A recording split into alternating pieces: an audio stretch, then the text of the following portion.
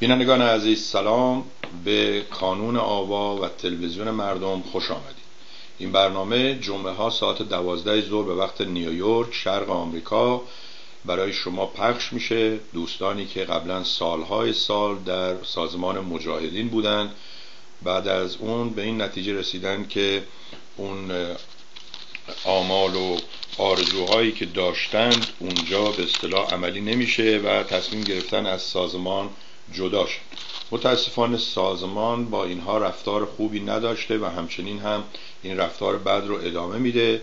این دوستان هم تصمیم گرفتن که به اصطلاح ماجراهایی رو که در طی سالها دهه ها اونجا دیدند و تحمل کردند اونها رو برای شما بازگو کنند تا شما رو بیشتر با به اصطلاح سازمان مجاهدین خلق آشنا کنند و شما هستید که تصمیم خواهید گرفت. امروز آقای قربان علی حسین نژاد رو داریم که قبلا هم چندین بار مهمان برنامه بودن از ایشون بسیار ممنون و متشکر. همین الان که ما صحبت می‌کنیم دختر ایشون هنوز در سازمان مجاهدین هست و اجازه دیدار و به اصطلاح تماس داده نمیشه. ما امروز می‌خوایم از آقای قربان علی حسین نژاد که مترجم سابق مسعود رجبی بوده و الان از فرانسه با من و شما صحبت می‌کنن در مورد تلاش اخیر چند خانواده برای دیدار عزیزانشان در لیبرتی از جمله دختر خود آقای حسین نژاد و افشای دروغ ها و تومت ها و تناقضات مزهکی که در اطلاع های پیاپی فرقه رجوی در وحشت از باز شدن درهای لیبرتی و رهایی اسرای دربند این فرقه ایشون بحث و تبادل نظر کنند. شما می‌تونید چه در طی برنامه چه در روزهایی که این برنامه به صورت بازپخش پخش میشه تماس بگیرید از طریق تلفن، ایمیل، فیسبوک چه مستقیما با خود این دوستان چه با تلویزیون مردم و اینها در برنامه های آینده به شما پاسخ خواهند داد. آقای حسین نجات خوش آمدید و این شما این هم بینندگان تلویزیون مردم در سر تا سر جهان. بفرمایید. بله با سلام به بینندگان و دوستان عزیز. اول با سپاس از شما آقای سرفین و از زحماتتون اولا در ابتدا باید امروز رو یعنی روز اول ماه می روز کارگر رود و به همه کارگران میهنم و همه کارگران و زحمتکشان جهان تبریک بجم روز جنبش کارگری و درود بگویم به جنبش کارگری جهان و به ویژه جنبش کارگری در گذشته و حال در میهنمان ایران و با درود به روانهای پاچ شهدای کارگر در جنبش کارگری دنیا و به ویژه جنبش کارگری ایران. چه در قبل از انقلاب در عهد ستم شاهی و چه بعد از انقلاب چه به دست رژیم حاکم و مخصوصا آنها که کارگرانی که از هر جهت یعنی در قربانی دو حاکمیت یا دو نظام ارتضایی غالب و مغلوب در جنگ بین این دو و بر اثر سیاست های نامردمانه و غلط رهبری سازمان مجاهدین مسعود رجوی قربانی شدند به روان همه آنها هم رود میفرستند. آقای حسین نجات عوض می‌خوام. من شنیدم توی فرانسه روز اول می رو خیلی قشنگ و به اصطلاح خوب برگزار می‌کنن. شما امروز جایی رفتید خبری بود اون جایی که شما هستید یا چون من یکی از دوستانم می‌گفت که در فرانسه خیلی این روز رو به اصطلاح زیبا برگزار می‌کنن. بله امروز در وسط پاریس تظاهرات خیلی پرشکوهی بود و این هر سال همه ساله برگزار میشه از میدان باستیل بین میدان باستیل و میدان ناسیون یعنی بین همون محل زندان باستیل در انقلاب کبیر فرانسه که در حقیقت جرقه آغازگر انقلاب کبیر فرانسه بود و میدان ناسیون یعنی میدان ملت که این محبته که در حقیقت مرکز شورش و انقلاب فرانسه بود در این راهپیمایی می‌کنند و خیلی جشن بزرگی می‌گیرند و تظاهرات می‌کنند با پلاکاردها و شعارهای خاص جنبش کارگری خوب آزاد مرکز آزادی و حقوق بشر در حقیقت فرانسه ولی خوب متاسفانه من امروز نه در خاطر آمادگی و این کارهایی که به قول شما همین اذیت و آزاری که فرقه رجبی ما رو کرده در رأس آن اذیت و آزار در رابطه با خانواده های ما داره مشغول نوشتن اطلاعی ها و دادخواهی ها و چیزهایی در رابطه با دخترم هستم و همچنین آماده کردن همه مصاحبه امروزمون بودم که موفق نشدم برم.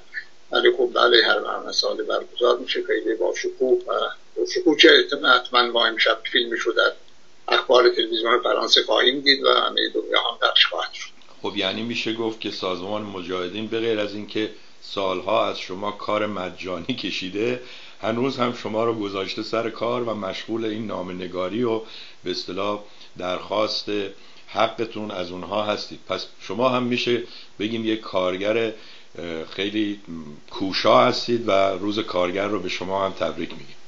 بله ما همون همون محرومیت های تحمیلی این رهبری این فرگه هنوز هم بله داریم می‌کشیم و هنوز هم داریم. و این هم از زندگی عادی خیلی موارد ما رو باز, باز داشته هنوزم مشغول همین مثل همه دوستان دیگه دوستان جدا شده های دیگه از جمله بیماری های جسمی که دارند عواقبش رو می‌کشند ما هم همچنان علاوه بر بیماری های جسمی همین ناملایمات و بالاخره ناخواسته های همین زندگی. و مسائلی که از آنجا به ما تحمیل شده که از جمله همین وضعیت دخترم و دیداری که اخیرا خواهرش از ایران رفت به بغداد مانع دیداری شدن علا رقم همه نامه ها و اقدامات ما در بین المللی ما با سازمان های بین المللی موفق نشد و باز جشن الان شرح خواهم داد و اطلاعی های پیافی گروه های سازمان که نموزد شد. من تجذیب کنم مقاله می نویسم الان همه دائم دارم نامه می نویسم ترجمه های زبان های مختلف شخصیت ها و سازمان های مختلف.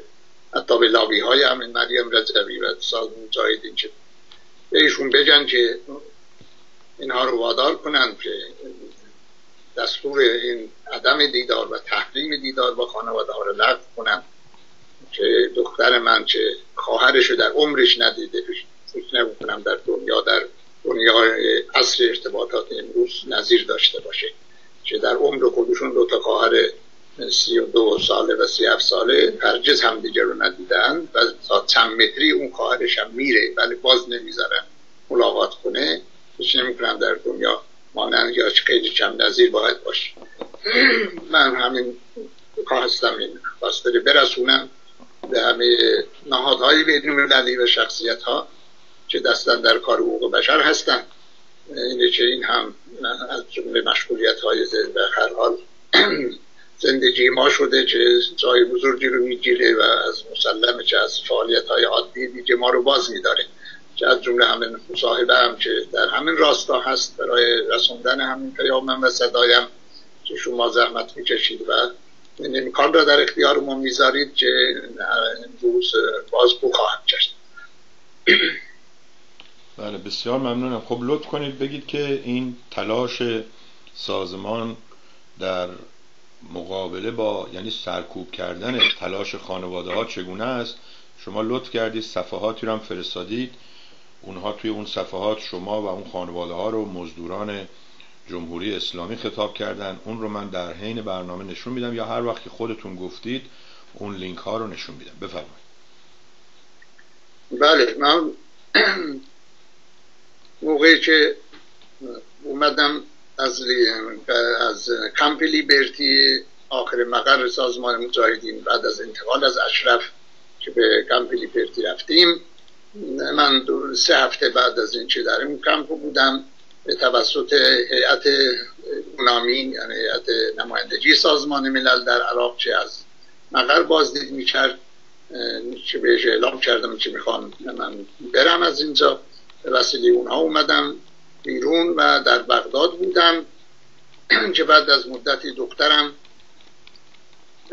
دختر کوچیشترم که در ایران گذاشته بودیم و اومده بودیم به سازمان پیوسته بودیم در, در خارج که مدت در یعنی خودم و همسرم و دختر بزرگم زینب چون موقع چهار سالش بود سال شستیش بود. اومدیم در کشورهای خارج کشورهای مختلف بودیم ترکیه و یونان و اسپانیا و آخر هم پنج سال در فرانسه بودیم.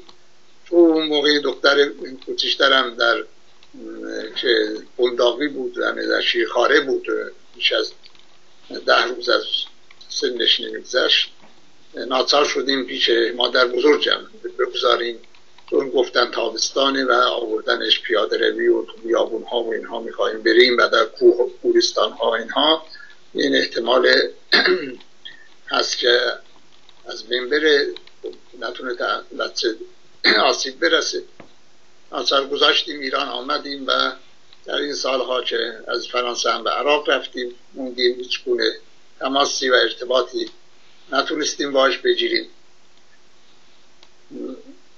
خب مادرشون در عملیات روغ رفت که جاویدان سازمان مجاهدین خب در راه آرمان خوب آرمان آزادی و آرمان برابری بود. آرمانش این آرمان رو این رهبری بی سمر گذاشت و به انحراف چشید. خود در راه این آرمان در حقیقت شهید شد. ولی من و, دختر بزرگم موندیم در عراق قرارگاه سازمان که در طی مدت 25 سال که آنجا بودیم واقعا من بعد از بیرون اومدنم به آقای کوبلر نماینده دبیر کل ملل متحد در بغداد گفتم واقعا خیلی خیلی تعجب کرد و واقعا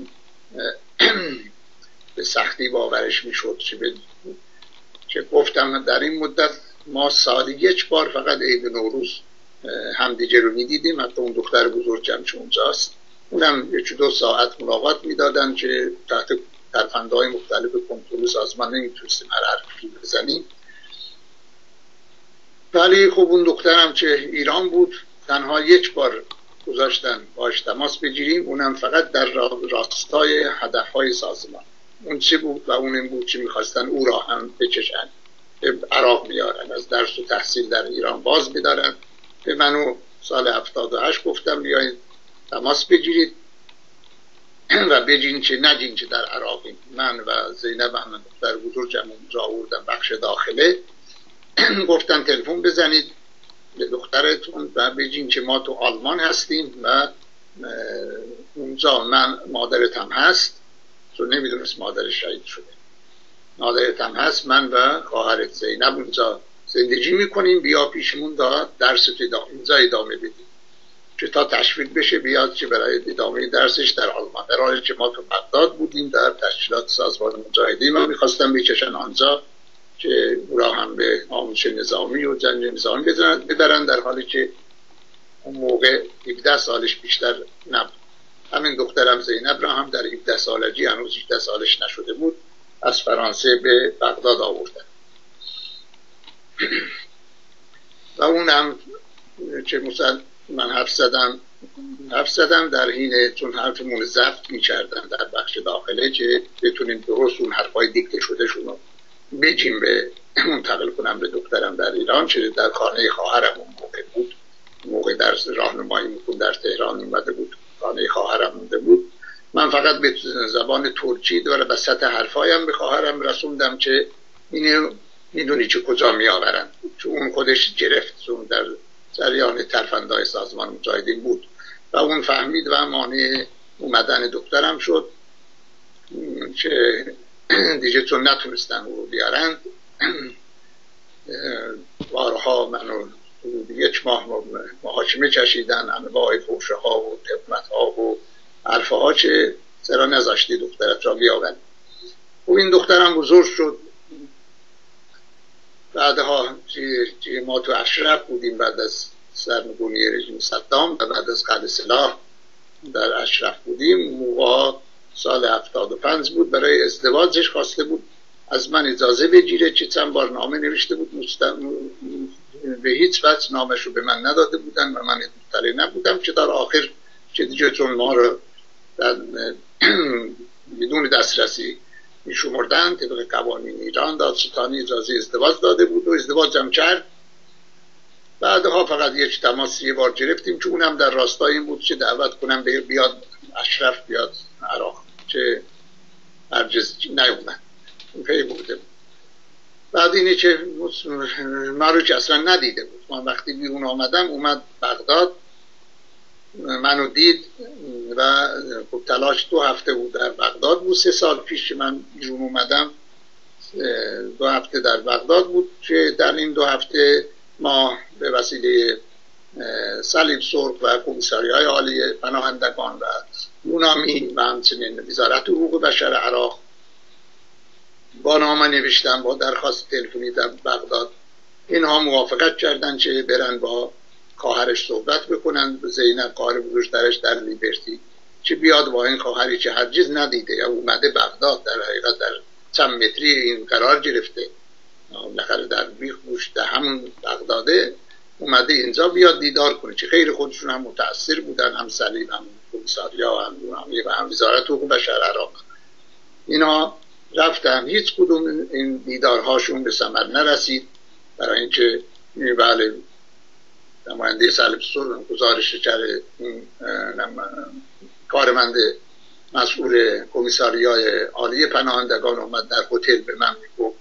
ای سوجن می‌خورد که بله ما این اومدیم آوردیم بیرون اصلا به خدا تنها بود هیچ از بالای سرش نبود و خودش گفت من نه با پدرم نه با خواهرم با هیچ کدوم از اعضای خانوادم دیدار نمی‌کنم.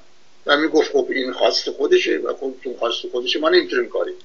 مسئله اینجاست.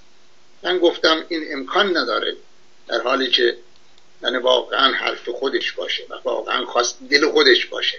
چون من سالها که در اشرف بودیم همیشه مشتاق دیدار این خواهرش بود که در عمرش هرگز ندیده بود.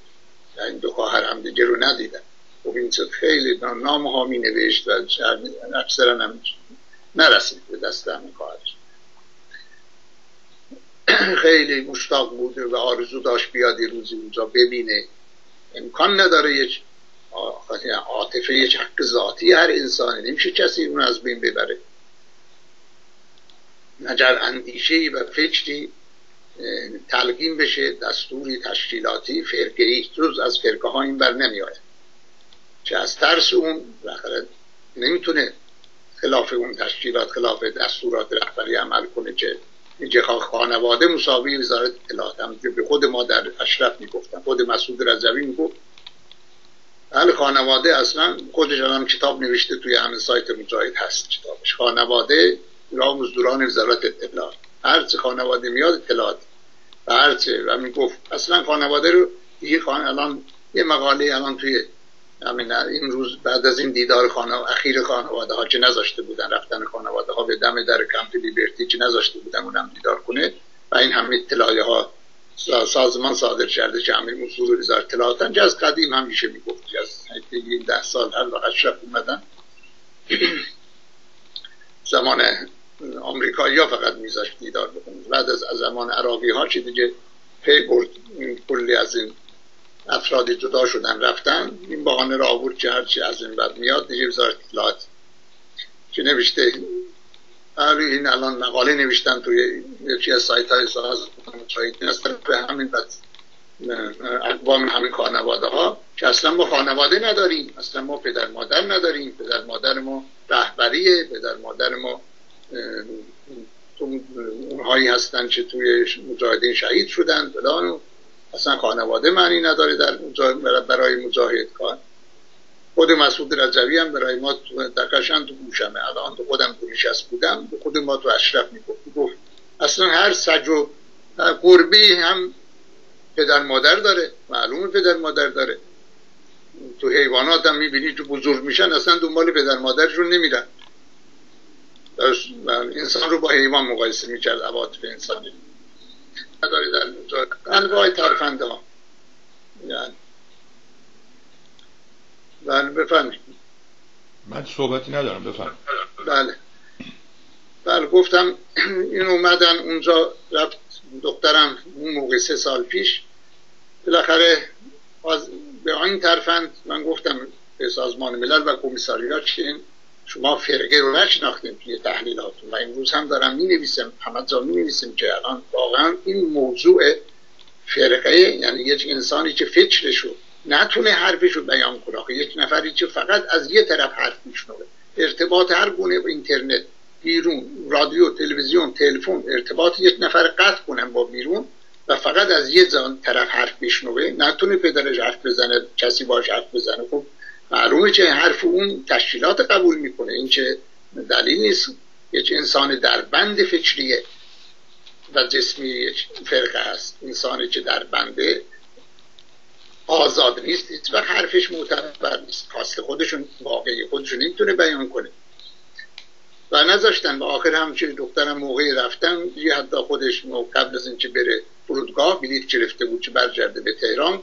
چون کمپی لیبرتی نزدیک فرودگاه بغداده.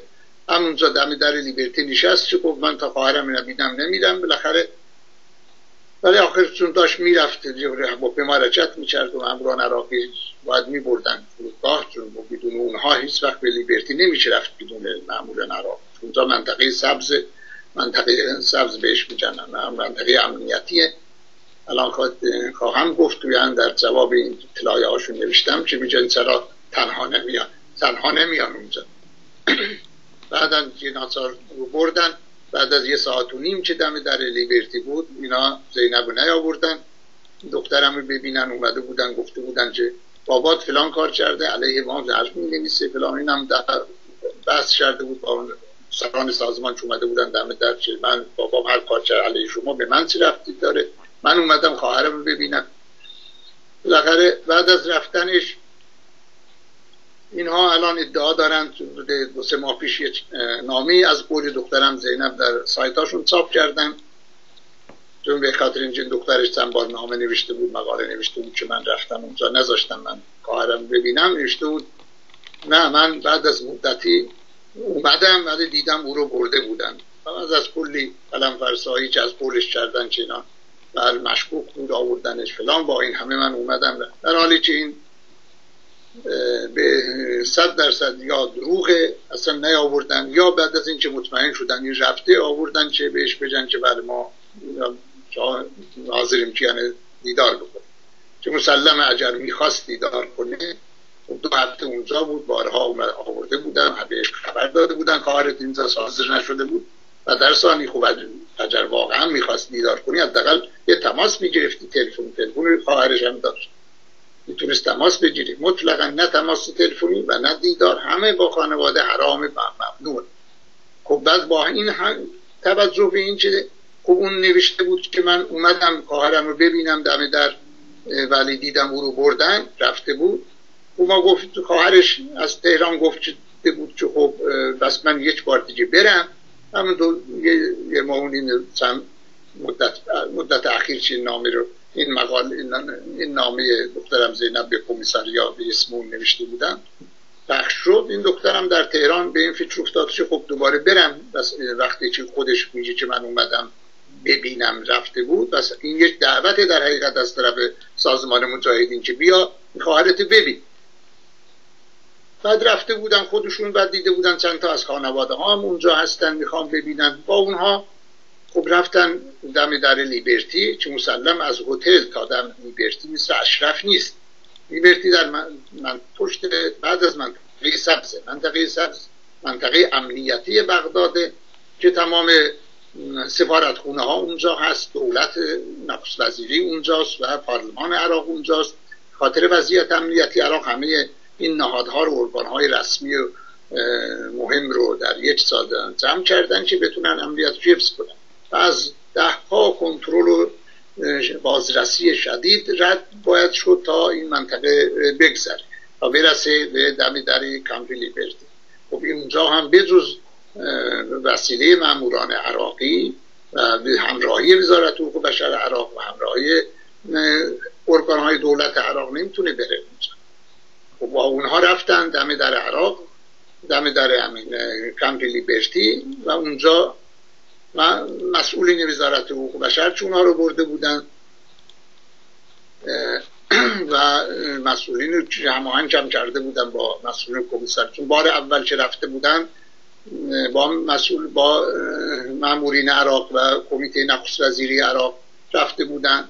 بعد مسئولان مجاهدین گفته بودن نه ما اینها خود فرزندانتون خود خیشانتون حاضر نیستن با شما دیدار کنن خب اینا هم واسطه بودن اصرار کرده بودن چون از خود فرز... ما از کجا بدونیم این خواسته فرزندان ماست؟ شما دارین میگین از قولشون نقل می‌کنید. به نیروهای, نیروهای عراقی میگین که میان به ما منتقل می‌کنن میگن رهبران مسئولان مجاهدین میگن که بچه هاتون حاضر نیستن شما رو ببینن. خود بچه هامون بیان خود عزیزانمون خود بستگانمون بیان. دم در لیبرتی خودشون بجن داد بزنن که ما حاضر نیستیم با شما دیدار کنیم. و ما ببینیم ایشون حداقل از دور که بعد بشنویم حرفشون رو و بعد برن. خب اینا نپذیرفته بودن. تا اومده بودن بعد از یه هفته صحبت با وزیر حقوق بشر و کمیساری های عالی پناهندگان سلیب سرخ و یونامی بارها دخترم به همه این نهادها در بغداد سر زد و صحبت کرد. تا آخر وزارت حقوق بشر حاضر شد با به عنوان عراقیان به عنوان مسئولین عراقی کارمندانش و مسئولین زیر زیرفت و همراه اینها بکنه و با کمیساری های عالی پناهندگان. و یونامی یعنی نمایندگی ملل متحد در بغداد هماهنگ کنه چه تا اونها هم چند از کارمنداشون برن با اینها برای دومین بار با اونها برن. زارتوک بشر و نمایندگان سازمان های بین المللی رفتن تا این بار خانواده ها روز سهشنبه دو هفته پیش رفتن به در به کمپ لیبرتی. چه این بار خیلی امیدوار بودن که واقعا ببینن. چون مسئولین کمیساریا و اونا می‌رفتن داخل مذاکره کردن. که آه اینها باید این فرزندانشون رو ما باید ببینیم. نمیشه حرف شما مسئولین سازمان رهبران سازمان زایدین بجن که ما نمی‌خوایم که ما چه این بچه هاشون خود خودشون خود بچه هاشون نمی‌خوام با خانواده هاشون دیدار کنم من باید خود افراد رو خود فرزندان اینها رو ببینیم. و با بستگان اینها رو ما ببینیم. خودشون رو تشتک دیدار کرده بودن. و معلومه اونجا در داخل تشکیلات صد درصد اینا همون حرف تشکیلاتی می‌زنن. بعد اومده بودم بیرون خانواده به خانواده ها صحبت کرده بودن که ولی همون بچه هاشون بچه هاشون خودشون میگن که ما نمی‌خوایم با شما دیدار. این فرقه این تشکیلات این که سازمان های بین المللی درک نمی کنن که اینجا خواسته فرد نیست به هیچ وجه. اینجا تشکیلات اگر می‌خواهیم باید این تشکیلات منحل رابطه اینها رو با رهبریشون قطع کنید اینها رو به عنوان افراد به رسمیت بشناسید و یا به تشکیلات به رهبری تشکیلات به رهبری همین فرقه که اینها مقلدشن اینها معتقدن بهش یا در در رسالت و جلوگان فکری اونها هستن. خب بشار بیاریم به اینا دستور بدن. آقا با خانوادهاتون دیدار کنید. و این حرفاشون که خانواده یعنی وزارت اطلاعات خانواده یعنی نجس خانواده یعنی فلان حرام و خب اینا رو لغو کنن. خب طبعا یک فرض کنید یک رهبر یه فرقه یا رهبر یک رهبر مذهبی یک مرزای تقلید. فرض کنید فتوا بده و همه تون خودتون رو بکشید. مثلا پیروان من خودشون رو بسوزانن. فرض می‌کنن خب دنیا سازمان های بین المللی چه نمیرن به اون افراد بگن خودشون با دلخواه خودشون میسوزونن به ما چه مربوط خب میرن یخه اون مرزه رو اون رهبر می‌گیرن. جناب این چه دستوری؟ اینا می‌دهی به اینا. خب مجبور می‌کنن اینو لغو کنه ما گفتیم نوشتیم به همه سازمان بین آقا فشار بیارید به رهبریش. به همین جا همین مرکز حقوق بشر در فرانسه به رئیس جمهور فرانسه نوشتیم آقا فشار بیارید که این چه دستوریه؟ این چه اینو لغو کنه و بگذاره بهشون. بگه که برید با خانوادتون دیدار بکنید.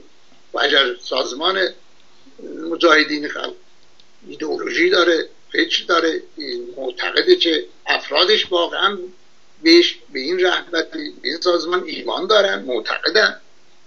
به قول بعد از این نامه های من مقاله من و نامه مخصوصا نامه دخترم مونا بگو مثال و مقاله اخیرش در دفاع از خودش علیه این اطلاعی های سازمان که گفته بودین آموزدوران اطلاعات هستند مقاله خانم عاطفه اقبال در مسئول کمپین برای انتقال ساکنان لیبرتی به برای سالس نوشت. خیلی خوب نوشته بود که اگر شما یه زمان خانواده در سازمان تأثیرش همیشه مثبت بوده و مورد تعریف تمجید بوده که یک نفر از افراد خانواده مجاهد بودن یا فدایی بودن یا انقلابی بودن تاثیر گذاشته و همه خانواده شدن انقلابی شدن مجاهد شدن این همیشه معروف بود در داخل سازمان در ایران. خب شما اگر ایمان دارید که به اعتماد دارید به این افراد خودتون بعد از 20 سال 30 سال اینها رو پرورش دادید فکرشون فقط فکر گوششون به فقط به دهن شما بوده به چشماشون فقط نوشته شما رو میخونده جایی ارتباط نداشتن نخوندن. خب اینها رو پرورش دادید که واقعا ایمان دارن بهتون. خب بذارید با خانواده اصلا خانواده رژیمی باشه طرفدار رژیم هم باشه. خب شما اینقدر باید بهشون اعتماد کنید چه خود خب اینا اگر دیدار کنن روشون تاثیر می‌ذارن. بعد گفته بود خب نکنه که شما بر از برعکسش میترسید یعنی از تاثیر این خانواده ها بر بر فرزندانتون میترسین که اینها دیگه از رهبری قطع کنن و با خانواده برن یا برن دنبال کار خودشون حتی مبارزه خودشون به آزاد و منفرد آزاد بشن از قید تشکیلات شما. که از همین هم میترسن. در حقیقت هم واقعیتش همینه. همه این اقدامات رهبری سازمان مجاهدین و این مواضعش و این اصرارش و معنی تراشیهاش در برابر دیدار خانواده ها و در برابر ساز اصرار بر خواسته های سازمان های و دولت عراق. این تو کاچش نشسته؟ وزارت حقوق بشر عراق. سازمان های بین مدافع حقوق بشر مسئول حقوق بشر میرن. چرا نمیپذیری؟ این همه اصرار که بچه هاشون نمیپذیرن چرا نمیپذیرن؟ چی گفته؟ این نپذیرم. چرا چرا دیدار نمی‌کنن؟ وزارت اطلاعات آورده. یعنی چی؟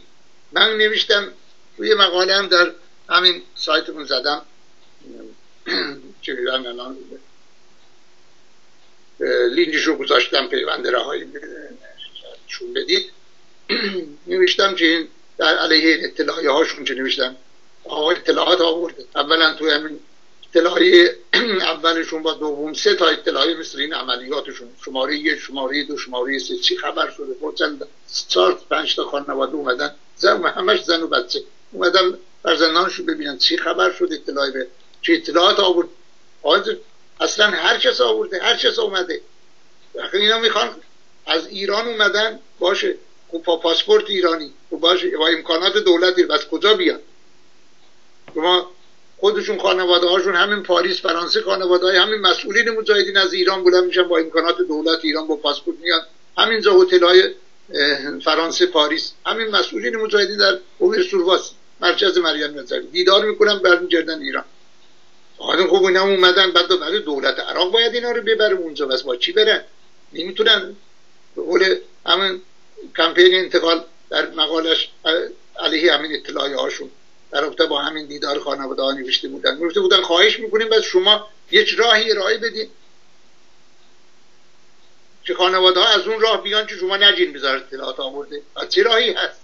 با دولت عراق می‌برن اونجا مسئولین وزارت خارجه وزارت حقوق بشر عراق می‌برن شما میگن اطلاعات آورده؟ و خب بس شما چه راهی هست از بین این همه بازرسی و بازرسی ها و و کنترل های عراقی از چجوری رد بشن برن برسن به دم در لیبرتی؟ شما یه راهی بجین تو از اون راه برن که شما نجیم ندارید. من نمی‌خوان هرگز نمی‌خوان هرگز هم اعلام نکردن تو اطلاعی هاشون چه راهی. بیان یعنی خانواده ها اینجوری بیان که اگر می‌خوان دیدار کنن با عزیزانشون.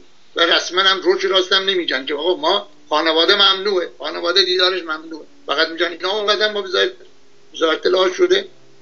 یه دونه لولو خورخوره و وسیله یک باز یه دونه دستاویز برای اینها که هر هر چی خودشون می‌خوان هر چی برخلاف اهدافشونه برخلاف میلشونه به اون متوسل میشن با همون چماق می‌زنن سر هر کس که مخالفت کنه باشون هر کس که مقاله علیشون بنویسه به هر کس که خواست شرعی و واقعی و خواست انسانی و حق انسانی خودشو بیان بکنه. خب دیدار با خانواده ها این دیگه. فقط همه از هر چی خودش نمی‌خواد از هر وزارت اطلاعات استفاده می‌کنه. به امروز من صحبت های آقای اسماعیل یغمایی شاعر و نویسنده و از اعضای کمیته اجرایی سابق سازمان مجاهدین که بوده در 19 سال پیش جدا شد و همه پاریس هست. روزه مصاحبه داشت با توی یوتیوب گذاشتن. نوشته بود آقا اون آخه یعنی بود می‌گفت توی مصاحبهش می‌گفت شما بس معلومه که اگر این رژیم سرنگونم بشه حتی شما خودتونم سرنگون بکنید باید این بخش فکر کنن باید وزارت اطلاعات رژیم نگه دارید. که همون موقع هم به درتون می‌خوره. که هر مخالف دولت خودتونم در فردا اگر حاکم بشید هر مخالف دولت خودتونم بگیم همین وزارت اطلاعات رژیم که دیگه داشتیم این شما رو تعریف می‌کنه. حرفای اون می‌زنید یا مزدور اون هستید. ما هر مزدور هر هر مخالف رو هر کسی رو به مزدوری وزارت اطلاعات متهم می‌کنید هر هر کسی هم که اقدام می‌کنه برای هر خانواده که رفته دیدار بکنه با عزیزش با بستگانش. خب اینها در حالی که با ساز... کارمندان سازمان ملل و کمیساری های حقوق بشر مشغول صحبت بودن چون از لیبرتی برجشته بودن به اینها که بجن که آقا این جریان اینه و اینها. خلاصه فرزندان تو میگن دیدار نمی کنیم یعنی در حقیقت رهبران نمی‌ذارن. ما نهانوان اینا در حالی که صحبت می‌کردن از اینها از لای دیوار یا از لای الان توی همین اطلاعی شماره دو رو نشون بدید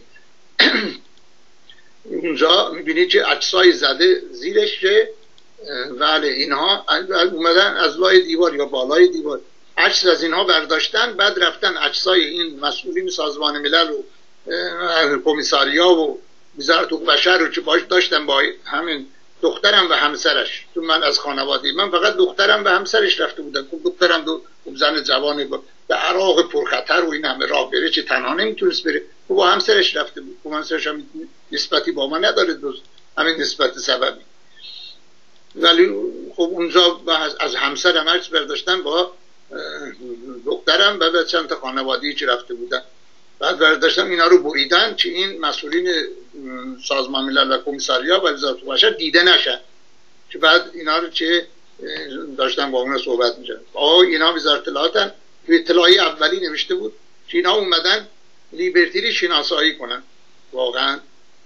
که آخه وقاحت و آخه این حرف چقدر مبتدی و چقدر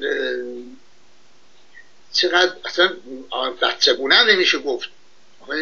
غیر منطقی غیر معقول. که آخه؟ لیبرتی کمپ خود عراق ساخته. در خاک عراق. آمری زمان آمریکایی‌ها بود. خب آمریکایی‌ها گذاشتن رفتن. بعد از گذاشتن رفتن چند ماه ماه دست خود عراقی ها بود.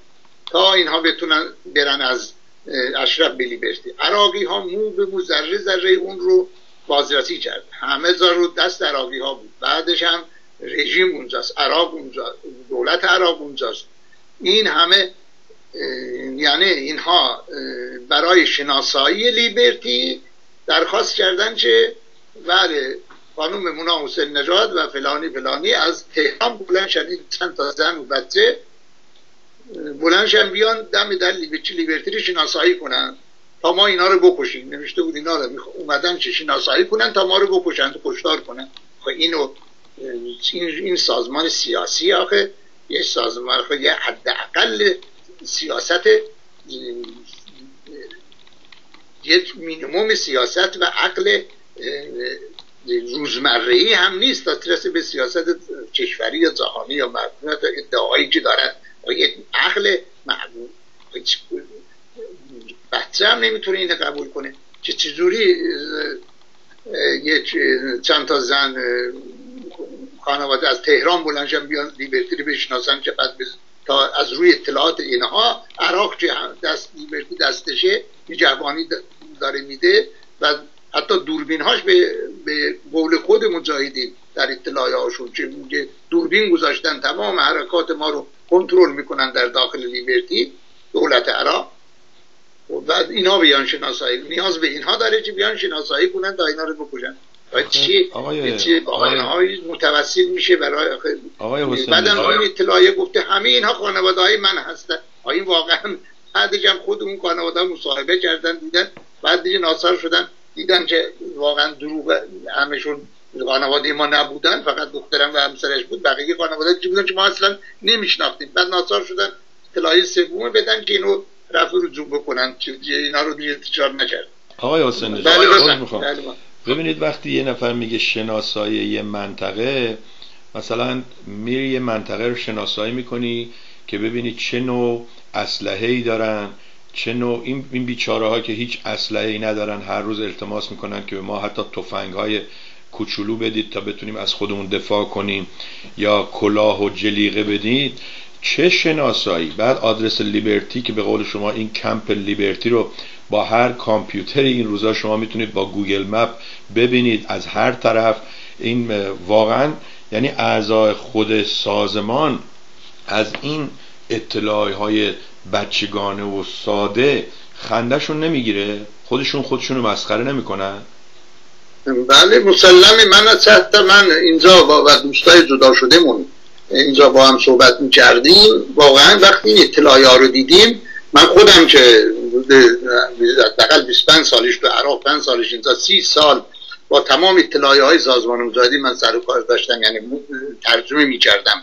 چون ترجمه می‌کردم ناطق دقیق باید میخوندم و همیشه می‌دیدم. اصلا اساسا فرق داشت. یعنی و خود دوستانمون هم صحبت کردیم به این نتیجه رسیدیم که گفتیم با الان اصلا این نوع حرف زدن این نوع اطلاعی مبتدی که مینیموم انسجام عقلی و منطقی و سیاسی رو نداره اصلا معلومه که اون بالاهاشون مثل رحمان و عباس تابری و حداقل اون سید اسلام و یه افراد کوهنکار سیاست سیاست مدارهای قدیمی کوهنکار می نوشتن قدیم حداقل یه مینیموم حتی دروغ هم می نوشتن بالاخره منسجم بود یه قابل قبول بود برای اونایی که خبر نداشتن از واقعیت.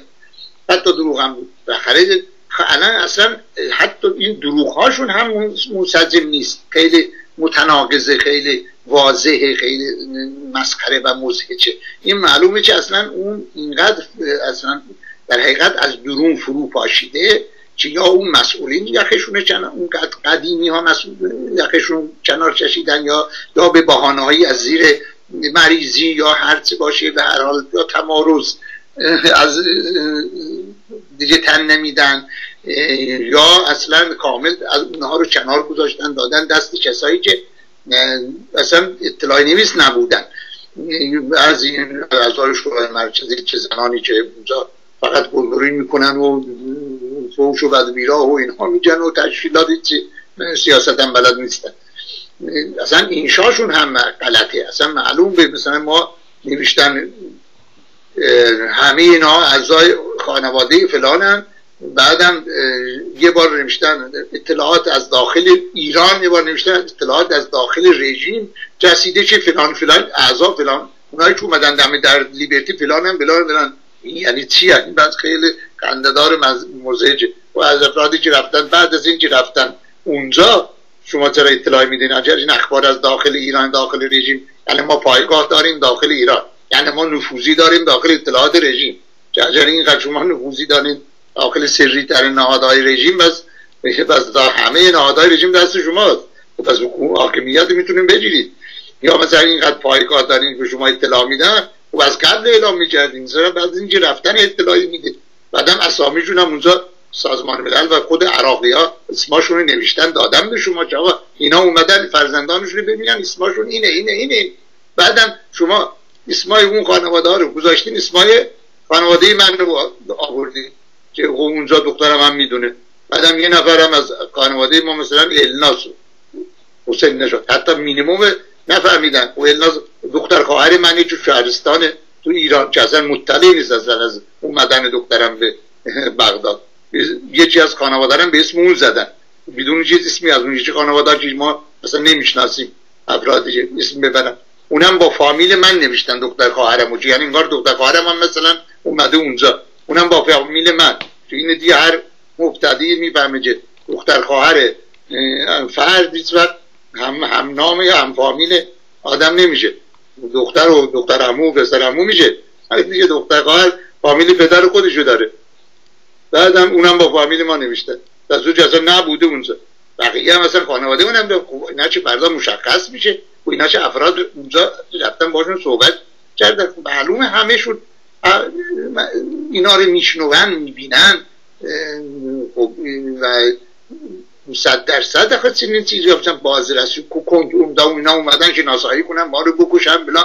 اینا چیزی خنده‌دار افراد اونجا هر چیزی اینا رو قبول نمی‌کنن. ولی مثلا تیغ تشکیلات چماق تشکیلات بالا چکوش تشکیلات بالای سرشونه و معلومه. رهبری نمی‌تونن زیک بزنن نمی‌تونن سرعت ندارن حرفی بزنن. با همدیگه هم که حد بزنن یواشکی میگن های محفل زدین های فلان رو چرا با همدیگه چرا صحبت می‌کردیم؟ ما اونجا بودیم دو نفری با هم نمی‌تونستیم صحبت بکنیم.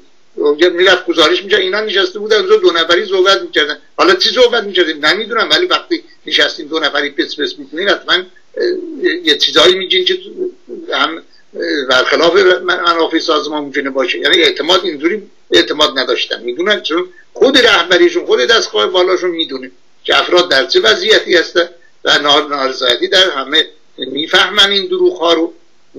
و به هم با هم دیگه صحبت می‌کنن. یه دو نفر با هم از دور با هم صحبت می‌کنن میرن تشکیلات میگه چرا دو نفری با هم صحبت می‌کنن؟ یعنی یقین دارن که اینا در رابطه با همین غلطکاری ها و همین چیزایی که اینا در میارن و خب نمی‌تونن باور کنن دارن صحبت می‌کنن. وضعیت افرادی که داخل تشکیلات. الان اینجوریه. آقای حسین نژاد وقتی شما صحبت می‌کردین من اسم کمپ لیبرتی عراق رو توی گوگل زدم. نقشه رو نشون میده که نزدیک نزدیک نزدیک بغداد International Airport هست. چند تا عکس نشون میده که این عکس هم نشون دادم. حتی از زمانی که آمریکایی ها اونجا بودن و توپ و تانک اونجا بوده.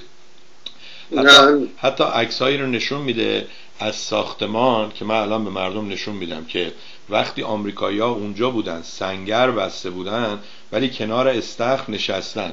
یه طرف چادرهاشون هست یه طرف چی؟ یعنی حتی شما می‌تونی برید داخل اونجا مثل یه خونه که می‌خواید بخری نگاه کنی می‌تونی برید داخل اونها اونجا عکسای مختلف رو ببینی.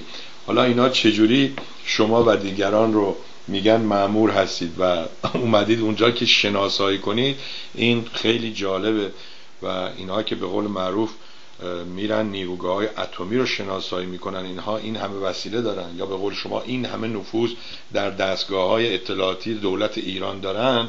اون وقت اینجوری چندین سال موندن اونجا بدون اسلحه و بدون هیچ وسیله ای و خودشون هم نمی‌دونن فردا چه خواهد شد. حالا هم که می‌خوان بیان اینجا بر علیه داعش گواهی بدن کسی که تا چند مدت پیش می‌گفت داعش نیروهای آزادیخواه و اشایر مردم عراق هست. نمی‌دونم در صورت اینها رو اگه مردم این نقطه ها رو به هم بچسبونن یک شکل بسیار مزهک و مسخره ای رو خواهند دید که همینجوری که شما الان لبخند بیزنین لبخندی بر لبشون میاد. بله من ساکت میشم شما لطف کنید به دنباله صحبتاتون ادامه بدید. بله من الان اطلاعی اولی که دادن می‌خونم. شما ببینید من بعضی نکاتش رو میگم. ببینید چقدر غیر معقول و غیر منسجم و ناقض و واقعا مزهج و نامعقوله. اولا میگه اطلاعی خب اطلاعی شماره یک؟ انتقال مزدوران تو بعد از اطلاعی بعدی که هست دیگه دو و سه شد دیگه شماره گذاری کرد. اطلاع انتقال مزدوران اطلاعات و نیروی قدس. خب اینها مزدوران اطلاعات و نیروی قدس خب نیروی قدس یعنی سپاه پاسداران یعنی نیروی نظامی. یعنی یک از نیروهای هم امنیتی و هم نیروی نظامی رژیم انتقال پیدا کردن. از تهران به دم در لیبرتی. تحت عنوان خانواده مجاهدین. یعنی اینا خانواده مجاهدین نیستن. این رژیم یه عده از نیروهای امنیتی و نیروی نظامیشون نیروی قدس نیروی سپاهپاسداران که الان با داعش میجنگه.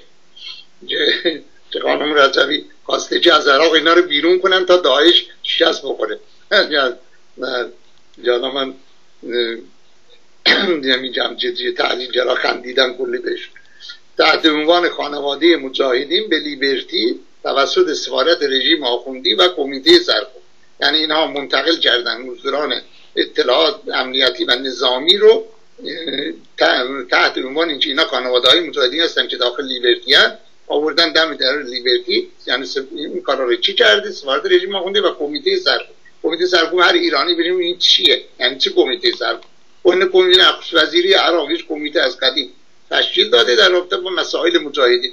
که اینا دیگه دارو درمان انتقال حرکت ها همه حفاظت و دیگه گذاشتن اومدن غذا و نیازمندی هاشون به داخل. خوب همه اداره امور مربوط به مجاهدین در عراق رو هر بخشی هر کشوری در در مورد یک مسئله مهم کشورش یک کمیته یا یک دایره یک اداره خاصی درست می‌کنه که به اونا بپردازه.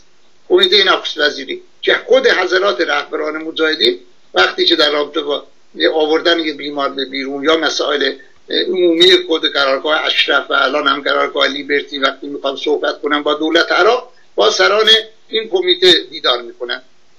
کمیته کمیته نقش وزیری مسئوله با مسئولین این کمیته دیدار می‌کنن.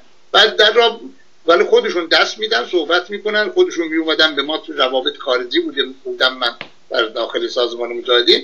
خود مسئولین روابط می‌رفتن دیدار می‌کردن میومدن می‌گفتن. خیلی عادی باشون چای میخوردن میخوردن خیلی بهشون وزیرایی هم می‌کردن. همین اعضای کمیته نقش وزیری عراق. بهشون میگه کمیته سر. در بیرون از این الفاظ قولای یغمایی واقعا می‌گفت فقط از همین این نشان دهنده پوچی و خلایی است که اینا با همین الفاظ و تبلیغات و فضاسازی و اطلاعات و سرکوب و این چه سفارت رژیم آخوندی و با کلمات اینها که مردم خوب تنفر دارن از این کلمات استفاده می‌کنه برای پر کردن خلایی که دوچارش شده و نداره. امیده سر و بعدم اجزایی که همین زیر این اطلاعیه آورده برای تو اطلاعی دوم هست. بعد از اون من زیر بعد از اجزای دختر من و خانواده ها عکس منو انداخته وقتی که از از داخل لیبرتی میام بیرون همین مسئول کمیته نقش وزیری اومده من تحویل بگیره از نیروهای سازمان ملل که دادم به عراقی ها اومده به من با من دست میده. بعد این عکس انداخته که با صادق فلانی اون مسئول کمیته الان این زام نوشته. سرهنگ صادق محمد کاظم سرگرد احمد. این اصلا سرهنگ نیست. اصلا نظامی نیست اصلا. مسئول طوری مردم هم خبر ندارن. بی اطلاع نمی‌دونن اینا چیه. و از اینم اومده مسئول کمیته همینطور که با خود مسئولین سازمان مجاهدین دست میده صحبت می‌کنه خب با منم دست داد. در حینی که با من دست می‌داد این عکس از دور از روی دیوار مسئولین امنیتی سازمان مجاهدین عکس برداشتن بعد نگه داشتن که بعد که آقا بله با قاتل مجاهدین دست میده. و چطور شما خودتون مذاکره می‌کنید؟ با اینها مذاکره می‌کنید. آره. بعد از جمله سرهنگ صادق محمد کاظم به سرگور فلانی شروع از ماموران بس چیا بودن اوا اینا همه مسئولین عراقی هست آقا مسئولین عراقی هر کس باشه. من چیکار کنم؟ این کجا بود؟ ارتشی هست نیست. چیکار کرد؟ بخره دولت در خاک عراقی دولت عراق یک کمیته مشخص کرده.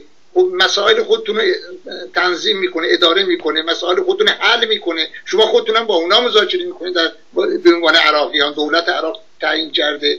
در رابطه با ماها چی میشه؟ خانواده های ما هم اینا می‌برن. یا من میام بیرون با تحویل اینا میدم یا دست میدم عکس بر با اینا برمیدارم با سرهنگ فلان زرگور فلان دیدار کرد یک خوب از ممران اینا آوردن. و چی بیاره بس کجا بیارن؟ از کره برن بیان از بالا بیفتن توی داخل لیبرتی. آقای بعد یک بله. این عکس آقای حسن جباری رو گذاشتن اینجا و تاریخش هم سوم مهر 1391 این چرا چه ربطی با این اطلاعیه داره؟ اینا از همه چی اومدن استفاده می‌کنن برای برانگیختن احساسات و شعر و شعار و اینا که اصلا هیچ رفتی نه به اومدن دختر من به اونجا داره نه به بیرون اومدن من ارتباط داره نه به من ارتباط داره اصلا. خب ما چی, چی مثلا یه اطلاع اون موقع که ما اومده بودیم بیرون اون موقع ما خانواده های مجاهدین پر بودن اون سه سال پیش من اومده بودم هر میشه می اومدن از زمان که اون موقع اشرف تازه داشت منتقل می‌شد به لیبرتی. و دولت عراق دی از خانواده ها رو که می آوردن خانواده ها که می اومدن برای این خانواده ها در نزدیکی اشرف ساختمان های بنگال های کانکس های آماده کرده بود درست شده بود برای اسکان اینها چون اونجا سکونت کنن تو زیر آفتاب نمونن. و اونا اونجا میموندن پذیرایی می‌شدن دولت عراق پذیرایی می‌کرد ازشون. رسیدگی می‌کرد. اینها چه در دمه داره اومدن دنبال عزیزانشون چه دیدار کنن چه سازمان نمیذاشت دیدار کنن. اونا بعد از همون سالا که من اومده بودم بیرون هنوزم در اشرف صد نفر مونده بودن. و افراد هم تازه تقریبا گروه های مختلف سری سری از اشرف آورده بودن ولی خانواده هنوز اونجا بودن. ما برای دیدار خانواده ها چی یدشون هم تو هتل ما اومده بودن میریختن سرمون آقا بچه‌مون دیدید این بچه‌مون کجا؟ اطلاعات در مورد بچهشون می‌خواستن ببینن کجا زنده است مرده است شما دیدین یا واقعا خیلی اونجا تو هتل ما عکس دستی چو اینا میاندازن که با که من دارم برای خانواده ها صحبت می‌کنم عکس اونم عکس من داختم که این داره با مزدوران اطلاعات داره توضیح می‌کنه. یعنی چی؟ زن و بچه بود چی بعد رفتیم برای خانواده که اومده بودن دیدار ما. یه روزا گفتیم ما بریم دیدارشون بریم حضورشون بریم خونه. اونجا چه اشتم اشرف براشون خونه درست کردن موندن. یه روزم تو مدت هشت نه ماه که ما اونجا بودیم یه روزم ما رفتیم. دو سه نفر سه چهار نفر از من خود چند نفر از جدا که از لیبرتی اومده بودیم بیرون. رفتیم ببینیمشون. چه تفلچه ها واقعا عکس بچه هاشون از موبایلشون می اومدن به ما نشون می‌دادن شما اینو دیدین می‌گفتیم آره دیدیم سالمه اونجا هست. فلا وضعیتش می‌گفتیم. دیگه بعد هم بعد از 20 سال 30 سال خب ندیده بودن. بعد می اومدن چشمای ما رو میبوسیدن. گفتن این که این چشما اونو دیده. خیلی واقعا متاثر کننده بود. مادران و پدران پیر 70 ساله 80 ساله که مجاهد میدان میگن ماموران اطلاعاتی که حتی مامورم باشه بازنشسته میشه. اصلا مامور هفتاد هشتاد سال پدران پیر بعد از سی سال 20 سال سی سال بچه‌هاش رو ندیدن بعد ما اونا خب بعد هم زمان با اونها هم این از خبرنگارها بودن ریخته بودن عکس برمی داشتن خب ما عراقی بود رژیم خب ایران بود هر چی چیکار داریم بیمدن بعد اون موقع یه دائم از این الوا توچی بود روباش عراقی و این برونور بودن و می اومدن چون فضای همون موقع تمام اطراف عراقی ها تحریک کرده بودن با دخالت هاشون در امور عراق اصلا متنفر بودن از اینها. کارهایی کرده بودن خیلی دیگه چیزهای با این همه رای دخالت در انتخابات و حتی اجبارها و فشارها که آی نرید رای بدید آی نرید اینا دیگه اصلا خیلی متنفر بودن و جنایت هایی که زمان صدام کرده بودن خیلی افرادشون رو کشته بودن زمینه هاشون رو گرفته بودن صدام داده بود به اینا. اینا همیشه می اومدن اونجا تظاهرات می‌کردن. یا مثلا یا سنگ می‌زدن. کار می‌کردن. همون موقع هم یکی اومده سنگ زده بود. اون جباری که عکسش نشون میده زخمی شده بود. بعدم اونم عکسش انداختن. چون ما اونجا رفته بودیم خانواده دیدار کنیم. آره اینا هم زمان با اینا که رفته بودن اونجا اینا هم این, که ما هم زمان بود بعد, بعد خود هم اینا سنگ زدن. آخه این هیچ کدوم از دوستان ما افراد لیبرتی اشرف داخل مجاهدین اون بالاهاشون هم قبول نمی‌کنه خود اون نویسنده هم نمی‌تونه بپذیره. فقط برای فریب افکار عمومی بیرونی که اونم نمی‌تونه افکار عمومی هم قبول نمی‌کنن. که ما از اونجا بیایم بیرون به دوست دوستمون که دیروز اونجا بریم سنگ بزنیم زخمی کنیم. همین دوست جباری بیچاره که در همین از جزو صد نفری بودن نگه داشته بود در اشرف همون موقع. اونم در شهریور پارسال کشته شد. همین تروریست که حمله کردن تروریست رژیم که حمله کردن اشرف.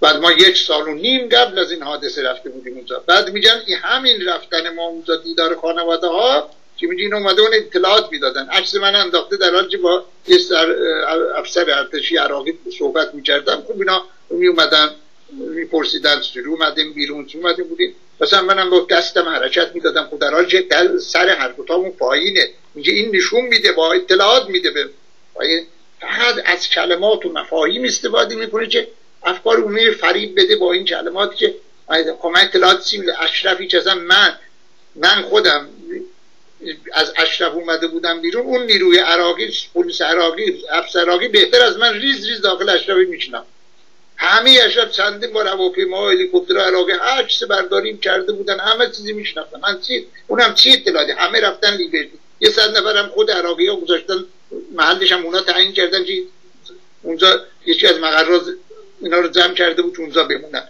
بعدش هم چی همه نه مبارزه هست نه سلاحی هست نه مبارزه میکن چی اطلاعات؟ چی بدم؟ چی؟ اونم به عراقی ها آیا اطلاعات این توی مفهوم چپ مبارزات ایران فضای ایران همیشه این اطلاعات دادن روش شده خراب شده هر چی به اطلاعات میده بلان از همین مفاهیم و کلمات استفاده می‌کنن برای خراب کردن یک نفر برای بد کردن چهره آدم. یا مثلا با یکی از این خانواده ها من دارم صحبت می‌کنم مثلا عکس برده منم نخواستم صورتم بپوشنم بدم میگم. حالا اون صورت چه پوشونده بود؟ از این برادرای یکی از این بچه های افراد کوچک همون قرارگاه بودن اومده بود برادرش ببینه. میترسید عکس بردارم بجن شناسایی کنن. یا مثلا بکشن. از خودش یه ترسایی داشته. من خود صورتشو پوشونده بود. میگه آی با یه تروریستی داره صحبت می‌کنه. مثلا چی؟ و از این چیزا شگردهای فریب کارانه و شیادانه و واقعا گروه های گوبلزی این مجاهدین که همینجوری رهبری فرقه رجبیه. من نمی‌تونم بگم مجاهدین. مجاهدین همون افرادی هستن چونجان و افرادی هستن که عمری جهاد کردن مبارزه کردن به طور واقعی و شهید شدن یا جدا شدن یا واقعا به زور اجبار موندن هم اونجا و جرأت نمی‌کنن با تهدیدهای رجمی با این فضایی که ایجاد کرده. تو اینا رو پخش می‌کنه اطلاعی ها رو در درجه اول برای داخل لیبرتی داخل تشکیلات سازمان می‌ذاره. که اینا ببینن که ببین هر کس قدم بذاره بیرون از این تشکیلات ما این بلا رو سر اونم خواهیم آورد. این دروغ ها رو این اجسا رو این بزن پراکنی ها رو علیه او هم خواهیم کرد که همینا چی جرأت نمی‌کنن برن بله من الان می‌خوام به از وقت کنید یا اگر می‌خواین وقت بدین یا می‌خواین چی بکنید که من چند اطلاعی ها رو بعضی نکاتش رو بله. می‌خوام ببینیم یکی از همین یکی از همین فیلم هایی که اتفاقا تو اونم نشون میده که دوستان مجاهدین هم از داخل کمپ ها سنگ پرتاب می‌کنن برای خانواده ها و بله. نمی‌دونم این چه نوع خوش آمدگویی هست. اون رو با هم ببینیم. چهار پنج دقیقه هست. شما هم یه استراحت کنید. دوباره برنامه رو با هم پی می‌گیریم. دوستان از این ویدیو رو ببینیم و برگردیم. هم نارم نشون بدیم. بله بدونم که سنگ میاندازن. بله. بله. پس تا چند دقیقه دیگه با شما هستیم بینندگان.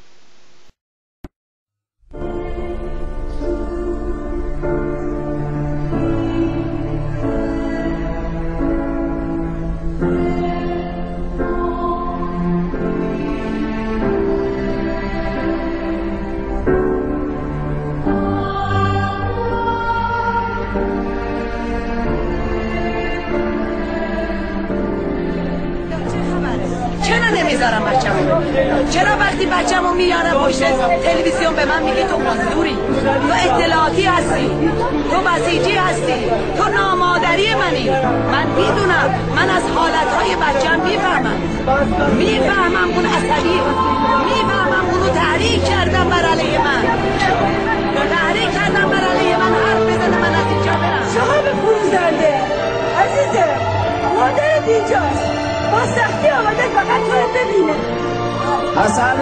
انمایی برادرت موسا اومده ببینم آمر محسن مرتضوی برادرتم. امین عبدالی امین عبدالی برادرتم.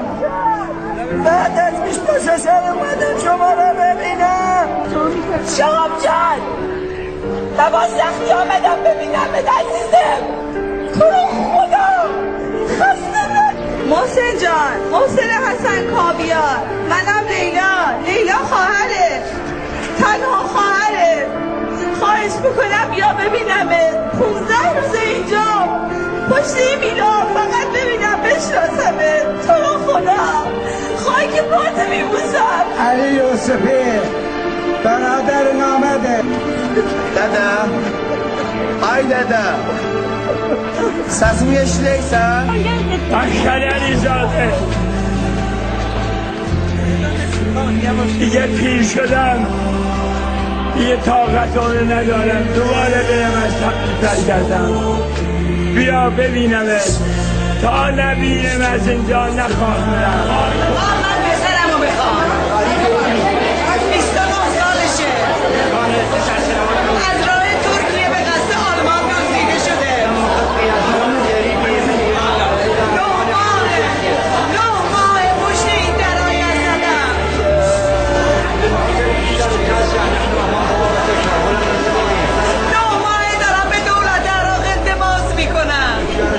الجوال نفسه من الحكومة العراقية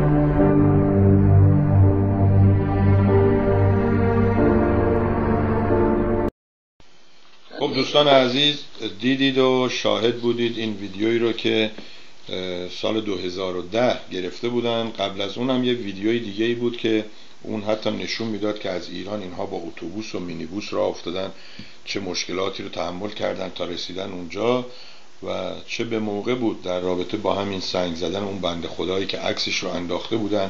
اتفاقا با آقای حسین نژاد گفتم گفتم فرض بگیریم که شما و دیگر خانواده ها رفتید سنگ زدید به این آقا. خب چه کار کردن برای این؟ گذاشتنش اونجا که بعدا کشته شد دیگه. بعدا اون پنجاز و پنجاه دو نفری بودن که کشته شدن در رابطه با اون کشته شدگان اون ماجرا اون هفت نفری که باقی موندن یا اون هفت نفری که چهل و چند نفر باقی موندن هفت نفرم به اصطلاح به اسارت گرفته شدن. هیچ خبری دیگه نیست آقای حسین نژاد. درست میگم؟ نه هیچ خبری نیست از اونها. سر از سرنوشتشون هیچ خبری نیست. دقیق از قربانیان سیاست آقای رجوی شدن که این صد نفر نجات داشته بود اونجا برای نجاتداری اموال مثلا در حقیقت. در حالی که آیا جان اونها این همه و اونم نسبت به خودش هم فرماندهان بالا و مسئولین بالا و قدیمی سازمان بودن. یعنی اینقدر ارزش داشت اینا رو برای سه چند تا ماشین و دستشویی و یخچال و آب گرم کن و اینا ارزش داد نگهداری. هم هدف چیز دیگه ای بوده که واقعا به پشتم بده استفاده بکنه ها بله. خب من ساکت میشم شما دنباله صحبتتون رو بگید و ادامه بدید. ضمنا در رابطه با سفری که قرار خانم رجوی داشته باشه یا اون ویدیویی که ارسال کرده برای آمریکا که با مخالفت دو تا از نمایندگان مجلس آمریکا چیز شد که آخه این خانم چه, چه چیزی می‌دونه از داعش که شما این رو دعوت کردید؟ شما نظرتون در اون مورد چی هست؟ بله دیدم خیلی تحلیل ها هم نوشتن دادن و اظهار نظرهای چه خود مقامات سابق و کنونی وزارت خارجه آمریکا و پارلمان و کنگره آمریکا کردن و بعضی از مقامات سابق آمریکا مثل سفیر آمریکا سفیر سابق آمریکا در سوریه کردن. و بعضی دوستا از نماینده های کنگره اصلا نرفتن جلسه خواستار شدن که یه وقت دیگه سخنرانیشونه بذارن. و خیلی با معلومه که با تحقیر و با خیلی سرکوفت یعنی یه چیز مثل چیز در حقیقت برخوردهای منفی مواجه شده تحقیق کننده مواجه شده که فکر کنم دیگه پشیمون بشه چنین کارهای انجام بده. برای اینکه همه فهمیدن که این چنین سخنرانی و نامناسبی که اصلا نه موضوعش حرفاش موضوع جلسه بوده از هیچ کس بر نمیاد به جز این که کسی پول بیاره پول خرج کنه. فقط یه چند تا از این نماینده های لابی خودشون نماینده که با خودشون فروختن به پول و حاضر بودن پول بپذیرن قبول کنن. اونها فقط تلاش کردن و چنین چیزی گنجوندن در برنامه کمیته فرعی ضد تروریست که تشکیل می شده با موضوع بررسی راه های مقابله با داعش. این بتون اونجا صحبت کنه. خب هر تحلیلگری هر سیاستمداری یک ذره داشته باشه. خب می‌فهمه که خب این چه موضوعی اومده سخنرانی. اونم شخصی که خودش سازمانی که خودش تو لیست تروریستی آمریکا و اروپا و همه جا بود. تروریست خودش حساب می‌شد. و هنوزم که از لیست تروریستی در اومده. هم دولت انگلیس هم دولت آمریکا گفتن ها با درست قضایی بله این پول خرج کرده و از لحاظ قضایی از لیست تروریستی در اومده ولی این دلیل به تغییر عقیده دولت آمریکا و انگلیس نمیشه. تغییر عقیده تحلیلگرا نمیشه که این سازمان تروریستیه اینکه آمریکایی حداقل بر نسبت به خود آمریکا دیگه مشخصه. مستشاران آمریکایی رو زمان شاه کشته. تمام موازیر علیه آمریکا بود. اطلاعی های رسمی شروط های رسمی خود سازمان با رهبری خود امیر رجوی اینا الان اون نمایندهش اونجا و همچنین کتابی منتشر کردن به انگلیسی که تمام این آمریکایی ها رو به ضدیت آمریکا مال کودتاسیان داخل سازمان مجاهدین بود که رهبری سازمان مجاهدین گرفته بودن. سال 54 رهبری کنونی سازمان رفتی به اون نداره. در حالی که خود سفارت وزارت خارجه آمریکا اون موقع سفارت آمریکا سفارت داشت. اول انقلاب در ایران. قبل از انقلاب همه اطلاعیه ها و موازه حتی بعد از انقلاب به رهبری خود رجوی رو با نشریه مجاهد نشریات خود اطلاعیه خود سازمان مجاهدین رو داره. سرودهای رسمی رو ترجمه کرده داره. اطلاعیه رسمی خود سازمان مجاهدین به رهبری همین رجوی رو بعد از انقلاب داره. که با تیترهای دروش من یادم این نشریه مجاهد می در, در حمایت از جیروگانگیری سفارت آمریکا. و اصلا در اختیار گذاشتن حاضر تمام نیروهای سازمان نظامی سازمان مجاهدین در اختیار سپاه پاسداران قرار بده. اعلام کرد علیه آمریکا برای جنگ با آمریکا. دشمن شماره یک بوده آقای نجات اگه اشتباه نکنم حتی در اون ماجرای سپتامبر 11 11 سپتامبر 2001 به اصطلاح سازمان مجاهدین اون هم مثل فلسطینی که اونجا شیرینی پخش می‌کردن و خوشحال بودن یه جورایی حمایت کرد از اون. حالا مطمئن نیستم بله. دنبال خبراش میگردم پیدا کنم. یعنی اینا نمی‌تونن بله اینا نمی‌تونن بگن که ما اون اونایی نیستیم که به اصطلاح مستشارای آمریکایی رو کشتیم. گیرم که بگید اونا نیستید. ولی ده سال پیش 11 13 14 سال پیش که شما وقتی که به اصطلاح اون برج های دوقلوی آمریکایی و چند جای دیگه مورد حمله قرار گرفتن. شماها شادی کردید چون اون موقع صدام زنده بود و فکر می‌کردید که الان با این کار آمریکا و امپریالیست از بین میره و شما سیستم اون هر چیزی که هستید سوشال اسلامیست یا هر چیزی رو در هر صورت اینها رنگ عوض می‌کنن و نمی‌دونیم. امیدوارم که به یک جایی برسه که دیگه ثابت بشن. اقلا ماها بدونیم که اینها چی هستن چی میگن و هر روز به رنگی و به شکلی در نیان بفرمایید. بله اونجا اون ماجرای 11 سپتامبر و تعریف تمجید از این کار و دستفشانی و او را جشیدن که من خودم همون جلسه بودم همون نشست معروف قرارگاه باقرزاده در تابستان شهریور سال 81 در شهریور سال 80 2001 بود. که آخر نشست های سه ماه بود. سه ماه بود نشست آقای رضوی تشکیل داده بود برای که در این سه ماه نزدیک پنجاه نفر از اعضای بالای قدیمی سازمان مجاهدین از جمله خود من رو به محاکمه کشیدن به علت مخالفت هایی که می‌کردیم داخل سازمان اشکال هایی که می‌گرفتیم انتقاد های سریعی که می‌کردیم. حتی محکوم به اعدام کرد ما رو. بعد گفت بعد می‌گفت ولی من عفو می‌کنم. حالا من نمی‌تونست اعدام کنه به اون شرایط و ادعاهایی که خودش داشت. به اینجور چیز که بله، خیلی اینا ماجره ها که مفصل آخر این نشسته ها بود که این 11 سپتامبر سال 2001 یعنی در تابستان سال 80 روی داد که ما در همون نشستا بودیم که این خبر رو اعلام کردن و فرداش رضوی مسعود رضوی با مریم رضوی که خودشون دوتایی می اومدن با تبختر و اینا چه چه خودخواهی و اداهای صدام در آوردن و سلاح به چمر و حرکت شمشیر و اینا. سکونشون می‌داد میچستن همیشه با هم زن شوهر. بله همه مغرور به این که دیگه صدامی هست و آمریکا نمی‌تونه شکست بده و تو اصلا فکرش نمی‌کردن زن تحلیلی هم نداشتن. چه وجه وقتی بود میگم که آخری نشستی که خودش داشت گفت که بله بذار ما تا دلتون می‌خواد سید و رئیس به ما مهمات داده سلاح داده همه چی داده میریم اگه هم حمله کنن ما میریم ایران سریع تا بیان ما هم ما سریع میریم. در حالی که معلوم بود که هر حرکت نظامی رو آمریکا می‌زنه چه زد و بعد آقایان نشستن دوباره برگشتن اشرف.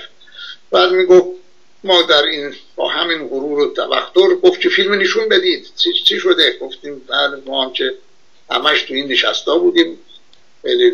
فقط برای غذا خوردن و استراحت برمیگشتیم به قرارگاه خودمون چون مال ما اون نزدیکی ها بود که مقر اقامت خودش بود. ما بخش روابط خارجی بودیم که در حقیقت به دفترش بودیم. مترجم خود مسئول رجبی بودم یعنی دفتر در مترجم ارشد بخش روابط خارجی که درست نزدیک مقر اقامت خود مسعود مریم بود بودیم. مقر ما همون پشت همون مقر بود که در حقیقت اقامت مسعود و رجبی من رجبی هم بود. ما برمی جشتیم اونجا برای استراحت بر بعد می اومدیم برخلاف همیشه که تلویزیون ها رو باید مانیتور می کردیم نگاه می کردیم یه وقت نمی کردیم همه نگاه کنیم. یک نفر فقط چشیچ گذاشته بودن که اون فقط مانیتور می کرد تلویزیون ها رو که ببینن دو دنیا چه خبره. ولی ما یه همیش دائم برای همه هم از اشرف همه قرارگاه های سازمان مجاهدین همه رو آورده بودن به غیر از چشیچ ها آورده بودن تو مقر برای نشسته به نشسته رهبری. بعد گفت که بله این فیلم نشون بدیم. ما در فیلم ها رو دیدیم که هواپیماها می اومدن می زدن هواپیما دو تا هواپیما که به ترتیب اومدن زدن به این برزه ها و نشون می‌داد. در حالی که این هواپیماها بر میخوردن به برزه ها از اون جلو سندلی های جلویی که سردمداران فرقه رجوی و اون اصطلاح وفاداران درجه یک رو در باریانش نشسته بودن حضرت به حساب درجه یک خانم و آقای رجوی. اونا بلند می شدن شروع کردن دست زدن او را کشیدن دیگه بقیه هم باید بلندشن سریع نمی‌تونن چه ما همه بلند می شدیم دست زدن و اینها تو بودن نمی‌شد اصلا هرچی بشینیم که بلند نمیشه مثل همین قبل از همین همین در روزهای قبل از همین محاکمه ماها محاکمه افراد ناراضی هم همین بود. وقتی بزرگ بلند می‌شدن می‌گفتن برو گم شو یا باید اعدام باید کردن هر چیز هم نمی‌خواست. اکثرا هم واقعا متنفر بودیم نمی‌خواستیم باید بلند می‌شدیم باید می‌گفتیم. بله خود ما خود اون افراد رو میکشیدن اونجا به محاکمه و و سرکوب های دیگه چه اصلا یک ماه علاوه بر اون نشست داخل خود یگان ها هم ادامه داشت. می بردن اونجا ما رو بیشتر از این نشست های بدتر تشکیل می‌دادن.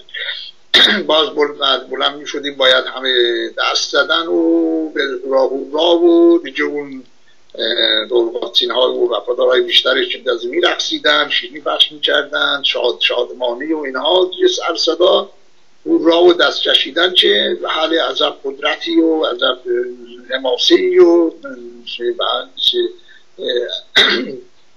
امپریالیسم آمریکا رو شکست دادن اینجوری به ضعف و زبونی کشیدن. و هم دیگه می‌گفتن توی این شلوغی ها دیگه رجبی می‌خواست حرف بزنه اینا دست می‌زدن شادی می‌کردن هورا و سوت و دست اینا دیگه تا, تا تونستن افراد ساکت کنن و خود مریم رجبی و مسعود و, افراد رهبران سازمان اون جلو تا افراد ساکت شدن. بعد آقای رجبی شروع کرد صحبت کردن. جمله که گفت قشنگ یادمه. این جمله رو باید ترجمه چرتش کنم ترجمه کردن اون روزها بعد از زمان بعد از سقوط صدام که اف بی آی و وزارت خارجه آمریکا اومد مصاحبه کرد ما شنیدیم که بعضی از ناراضیانی که جدا شدن رفتن در مصاحبه ها که بعض تشتش ما کردن اون مصاحبه های این جریان و این نشست رو با آمریکایی گفته بودن و شرح داده بودن چه خود رجبی خیلی فوششون می‌داد و اینا چه اینا جاسوسای اف بی آی بودن. پس معلوم اینا نفوذی های اف بی آی بودن داخل ما. رفتن این جریان گفتن. اینا گفته بودن و الان کامل خبر دارم. چون از یک کانال نبوده. چندین نفر تعداد زیادی که گفته بودن دیگه آمریکا کامل اطلاع داره از بهش کنم ترجمه هم کردن این حرف رجوی. این جمله که رجوی بعد از ساکت شدن همه سالن تونستن ساکت کنن جمله چه گفتیم بود. گفت بنازم. این جملهش بود من اونجا قشنگ یادمه خودم اونجا بودم شنیدم.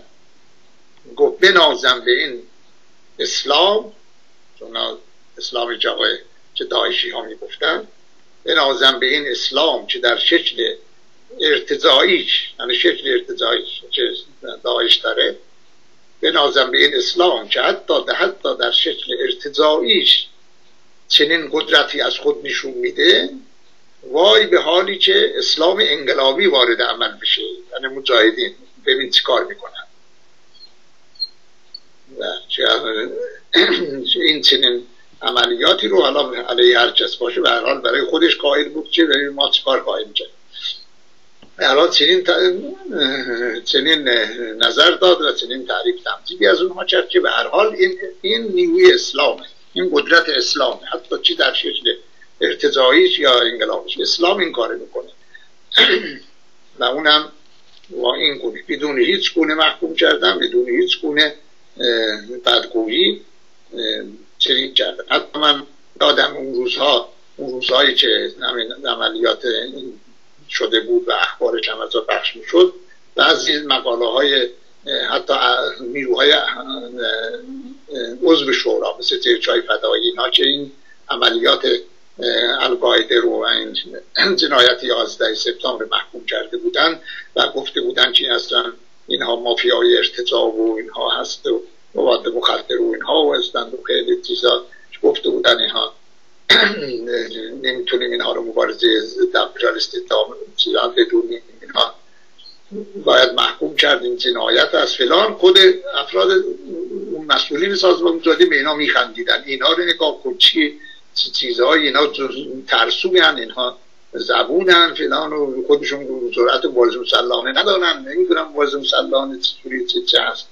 ولی اینها اونها رو میپوشونن. و از معلومه چی؟ امروز خانوم رجبی یا رهبری مجاهدین معلومه که نمی‌تونن هیچ کنه اشاره به اینها بکنن هیچ برای لاپوشانی این کارهاشون که آمریکا خوبم می‌دونه. و همچنین کارهای زمان شاه زمان انقلاب ادعاها و حرفها و شعر و شعارهای ضد امریکاست حالا افتاده دنبال نیروهای جریان های جنگ طلب آمریکا که بیان به ایران حمله کنن. مثلا به قول رجبی به ما می‌گفت تقاری بشند ماستی بریزد جهان گردد به جان کام کاسلیسان. به کاسلیسی خودش بپردازه. به این امید اومده این چیزا پول میده و معلوم از پولهای میلیونی که من خودم تو جریانش بودم و صورت جلساتش و صورت حساباش ترجمه می‌کردن. در ماه سه میلیون بشکه بهشون می‌داد صدام حسین کوپیسشل کوپینی که با پول موقع 93 میلیون دلار در ماه بود و همون پول ها را امروز سرمایه گذاری کردن. بازم میلیون میلیون خرج می‌کنن برای این سالون اون سالون سخنرانی هاشون و لابی هاشون حقوق و پول. همین پول ها رو اوورد خرج می‌کنه. فقط برای همین چیزا اقدامات ناچست میشه. خب معلوم سیاست مدارانی هستن. می‌فهمن. یکی از از این سیاست مدارها گفتن از این نماینده پارلمان که آقا چی رفتی به داعش؟ خب این اومده اینجا به به عنوان این نماینده های لابیشون چه پول دادن بهشون معرفی کردن که این خانم تجربه داره در مورد داعش. چی تجربه داره؟ حالا به حساب به تحلیل اونها حالا ما می‌دونیم که اینها ایدئولوژی چند خیلی بدتر از داعشن. بعدم گفتن بعد اینا عراق بودن. خانم که عراق نبوده که مدت هاست که عراق نیست که اون زمان که داعش بود که عراق نبود که دریان عراق بود. و گاهی مسلمان هم مثلا اینها می‌فهمند چی و اینها. که اسلامشون هم که از همین جنس چی چی می‌خواد بگه در انسان یه تروریست یه نوع تروریست از برای یه کشور دیگه از همون تروریست با همون افکار چی می‌خواد بگه اینه که این و در ثانی اصلا خندیدن به ریشه ناداشته خانم رجبی که واقع این چه تحلیلیه که میگی؟ رژیم ایران که هر از هر موضعی باشه الان از هر موضع شیعه یا سنی باشه رژیم ایران که با داعش میجنگه در حال جنگ اومدی اینجا موضوعی که برای مبارزه با داعش تشکیل شده و بحث سر چگونگی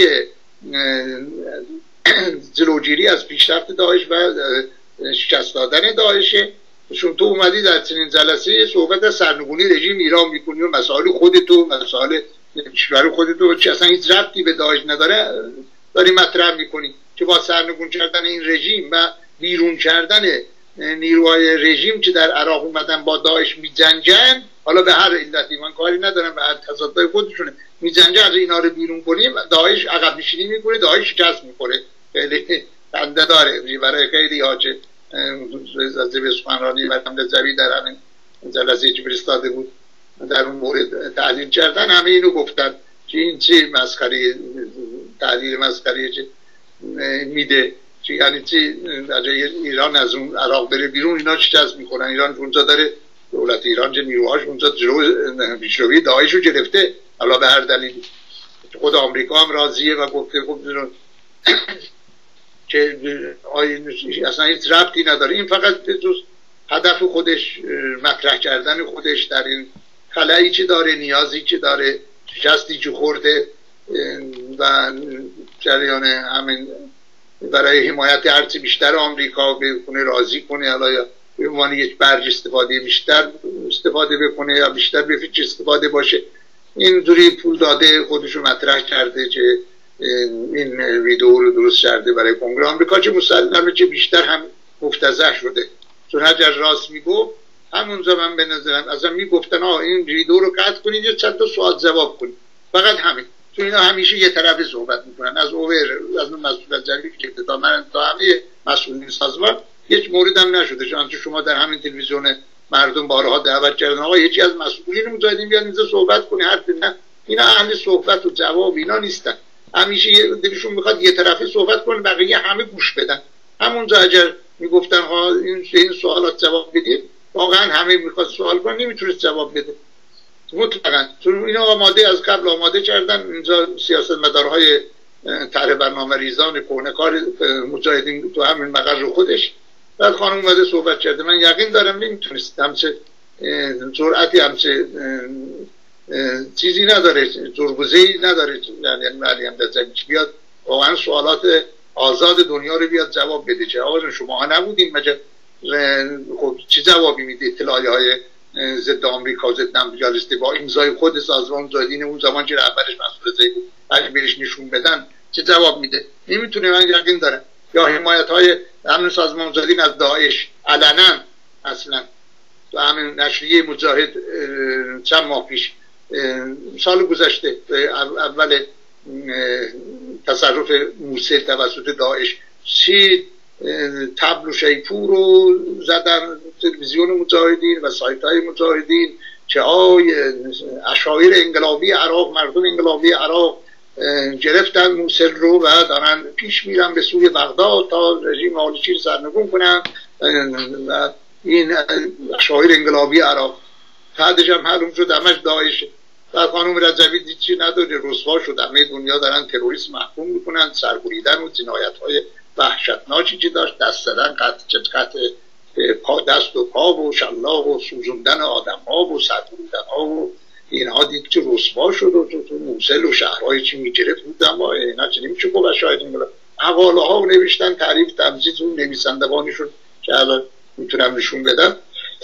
بارا البته شما نشون دادین آیه محمد کرمی در مصاحبه هاشون بارها در مفصل که در این مورد صحبت کرده نشون داده. خود سایت مجاهد می نوشت. اشایر انقلابی عراق موسر رو تصرف کرد بعدا خانم مرم دوید پارلمان اروپا گفت بله اینها مبارزه اشایر انقلابی عراق مردم عراق رو به انحراف کشاندن. از این مردمی که در عرض چند روز چند مدت یه ماه دیگه انقلاب کشیده شد بعد دیگه دستور داعش افتاد. برای توضیح این تعریف تمجیدهای خودشون از تروریسم گروه بنیادگرای افراطی جنایتکار داعش. می‌گفت که اینها به انحراف کشیده. و اون حرفاشون رو بپوشونه که این همه تعریف تمجیدها کرده. الان هم برای همین پوشوندن لاپوشانی این حرفاش هر کسی می‌گفت این حرفاش رو مسلم نمی‌تونه جواب بده. حالا برای پوشوندن اونها می این اومده چنین در حالت مثلا شرکت سمبولیکی برای مطرح کردن خودش پول داده و قرض کرده که تو مطرح کنه خودشون که اینها رو بپوشونه. که در حقیقت عقب نشینی مفتزهانه هست از موازی قبلیشون که الان هم دیگه هیچ وقت دیگه مطرح نمی‌کنن از راه مردم فلان اکشایر انقلابی اینها به علیه داعش میرن. چون باد جهانی هر جا به هر طور بشه این آقایان خودشون هم رنج می‌کنن در, در ظاهر. بله من اگر اجازه بدین به چند تا مورد چند مورد از این اطلاعی ها رو بخونم و تضادها و گروه ها و تناقضاتشون رو بگم. بله از اطلاعی هایی که در رابطه با دیدار خانواده ها دیدار اخیر خانواده ها از لیبرتیز سازمان مجاهدین صادر کرده گفتم که سه تا اطلاعیه داده در اطلاعیه شماره یک. میگه که اینها زیر عنوان خانواده مجاهدین لیبرتی به محل بوهان پلیس حفاظت خب کمپ لیبرتی بردن. خب اینا رو بردن. اولا بردن. خب چی ببره بس؟ و چیکار کنم؟ مگه خودشون می‌تونستن خیلی خنده داره. که خودش خودشون هم حضرات که می‌خوان بیمارستان برن؟ چی داد بیداد می‌کنن بیمارستان نمیبنن آی فلان. بعدش هم که میمیره. بعد میگن آقا در بیمارستان فلان بغداد مرد در اثر محاصره عراق. در, در, نتیجه محاصره لیبری توسط دولت عراق. و اگه محاصره هست چجوری بس میگه در بیمارستان بغداد مرد؟ و اینا می‌برن. بعضی وقت خوب ضوابط خودشون اصرار می‌کنن مراعات کنن. مثل مثلا 5 6 نفر می‌خوام با یه نفر بفرستن به بیمارستان های عراق. خب میگن اینا برای چی بیاد برای اینکه مواظب اون نفر باشن که در نره چون از بیرون تشمیل میره از تشکیلات خارج میشه از کنترل تشکیلات خارج میشه. از ایده رهبری سازمان رجبی خارج میشه. میترسن در بره پنج نفر می‌خوام ببینم عراقی هم نمی‌ذارم جنگ جدال میشه آخر دیگه می‌بینن میمیره. یا از اگر مسئولین بالا هم باشه که اعتماد دارن دیگه میفرستن. که اونم می‌خوام یه چی به عنوان مترجم دوستا پرستار از این بهانه ها. چرا میگم ما مترجم خودمون داریم. بعد می‌رفتن رفته اونجا خب این همه می‌برن خودشون می‌برن و عراقی ها می‌برن و عراقی ها میارن.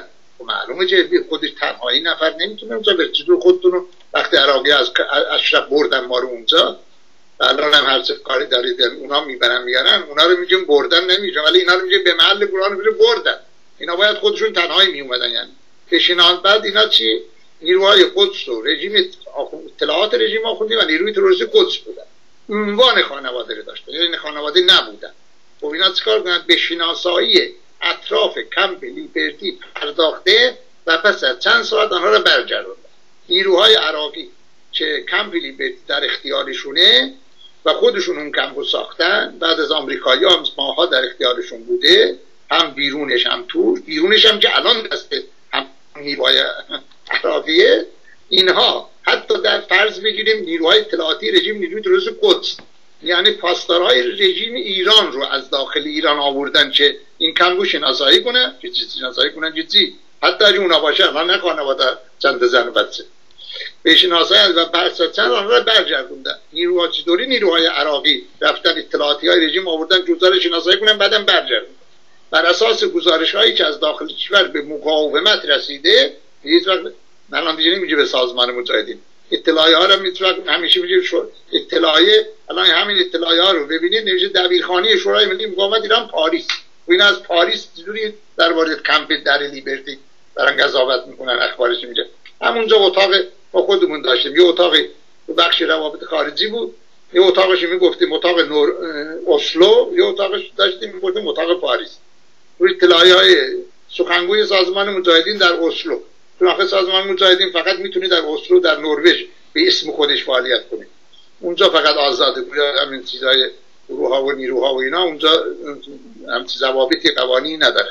بقیه کشورها هیچ به اسم سازمان مجاهدین نمی‌تونه فعالیت کنه. اجازه نداره. فقط به اسم شورای ملی مقاومت می‌تونه فعالیت چه اطلاعیه شورای ملی مقاومت از پاریس. اینا خود دولت فرانسه هم بار وزارت خارجه فرانسه گفت که ما به اسم سازمان مجاهدین هیچ وقت به رسمیت نمی‌شناسیم. که اینجا اقامت داره در فرانسه. در هیچ جای دیش تو خود آمریکا هم نمی‌تونه. فقط باید شورای ملی مقاومت بود. در یه اتاق اونجا می‌داد سخنگوی مجاهدین خلق در اسلو اگر مطلبی خاص مجاهدین بود یا اگر مطلب عمومی بود یا چیزای دیگه بود یه به می‌داد به همونجا در همون عراق در همون بخش روابط خارجی که ما داشتیم. اونجا آقایان حسین داعی‌الاسلام حسین مدنی که در اشرف کشته شد بعدم حسین و همچنین عباس داوری که در لیبرتی از سردمداران فرقه است اینا می نوشتن همونجا. تو اتاق پاریس می گفت امضای دبیرخانه شورای مقاومت پاریس. بعضی وقتا هم یادشون می‌رفت من خودم تو ترجمه اضافه می‌کردم. آدم این پاریس ننوشتیم گفت ها ها پاریس یادمون رفته نیست پاریس پاریس. من خودم تو پاریس اضافه می‌کردم. در حضرت بعدم نوشتم خب اینا همه دروغایی که اینا همونجا نوشتن. و بر اساس گزارش داخل کشور به مقاومت رسید. یعنی به شورای ملی مقاومت تو پاریس برای بغداد. که از داخل کشور اسم سازمان نمیاد مزدوران قرار است روزهای بعد نیز به لیبرتی برده شود و از از داخل کشور رسیده و از داخل کشور رسیده قرار بعد روزهای بعد هم به لیبرتی برن. خب این دیگه هر حاضر حافظ فقط هم می‌فهمه. هر بچه هم می‌فهمه. بعد از اومدن معما جهت شود آسان شود. خب این دیگه بعد از اومدن دم در اینا هر بچه می‌فهمه و روزهای بعد هم ممکنه بیاد. خب میاد. و شما واقعا گزارش از داخلش برسیده چرا از قبل از اینکه این مزدوران وزارت اطلاعات نیروی قدس نیروی نظامی بیاد چه ادعا دارید اینا هستن؟ خب قبل از اینکه اینا برسن اینو بود اطلاعیه می‌دادین جای سازمان میدن. دولت عراق اطلاعاتی های رژیم روی قدس می‌خوام بیان. اینجا نذارید. بعد از اومدن میدن. و اینو دیگه هر عقل هر بچه یه ذره پیشگویی میفهم. این ماموران در حالی به لیبرتی منتقل شدن ماموران یعنی نه خانواده که برای نزدیک شدن به این کم باید در چندین نقطه بازرسی عبور کرد. و رد شدن از آنها تنها با کمک نیروهای امنیتی عراقی امکان پذیر است. پس بفرمایید خانواده اول چجوری بیاد خب این ماموران در حالی بریم که برای نزدیک شدن کم اینه باید میگیم واقعا. این اطلاعات اگر یک ذره از مقامات بالاتر سیاستمدارهای قدیمی سازمان می نوشتن اینجوری نمی نوشتن چه خودشون هم اعتراف دارن جواب از چندین نقطه بازرسی باید بود که شدن آنها تنها با کمک نیروی امنیتی عراق میکن پذیره پس اینا چجوری اومدن؟ پس اینا نیروی امنیتی عراق هست پس اینا نیروی امنیتی رژیم ایران هست پس نیروی قدسن که نیروی امنیتی عراق اینا را آوردن. اگه خانواده ها بودن یعنی نمی آوردن. خیلی عجیبه. بعد اگه خانواده ها نیستن. و چرا پایین اطلاعی همش از میدین اینا خانواده های افراد داخل لیبرتی هست؟ اگه خانواده ها بیان بعد چجوری بیان؟ اگر, اگر قرار از چندین نقطه بازرسی باید عبور کنن سفر این افراد به عراق و حضور آنها در لیبرتی که به طور کامل توسط سفارت رژیم آخوندی در بغداد سازمان داده شده. بدون خب سفر افراد به عراق اگر سفارت میجی خب رژیم ایران میجی خب سفر عراق افراد از ایران معلوم با پاسپورت ایرانی میاد. پاسپورت حالا چه سفارت صادر کنه چه وزارت خارجه صادر کنه از کجا بس بیاد؟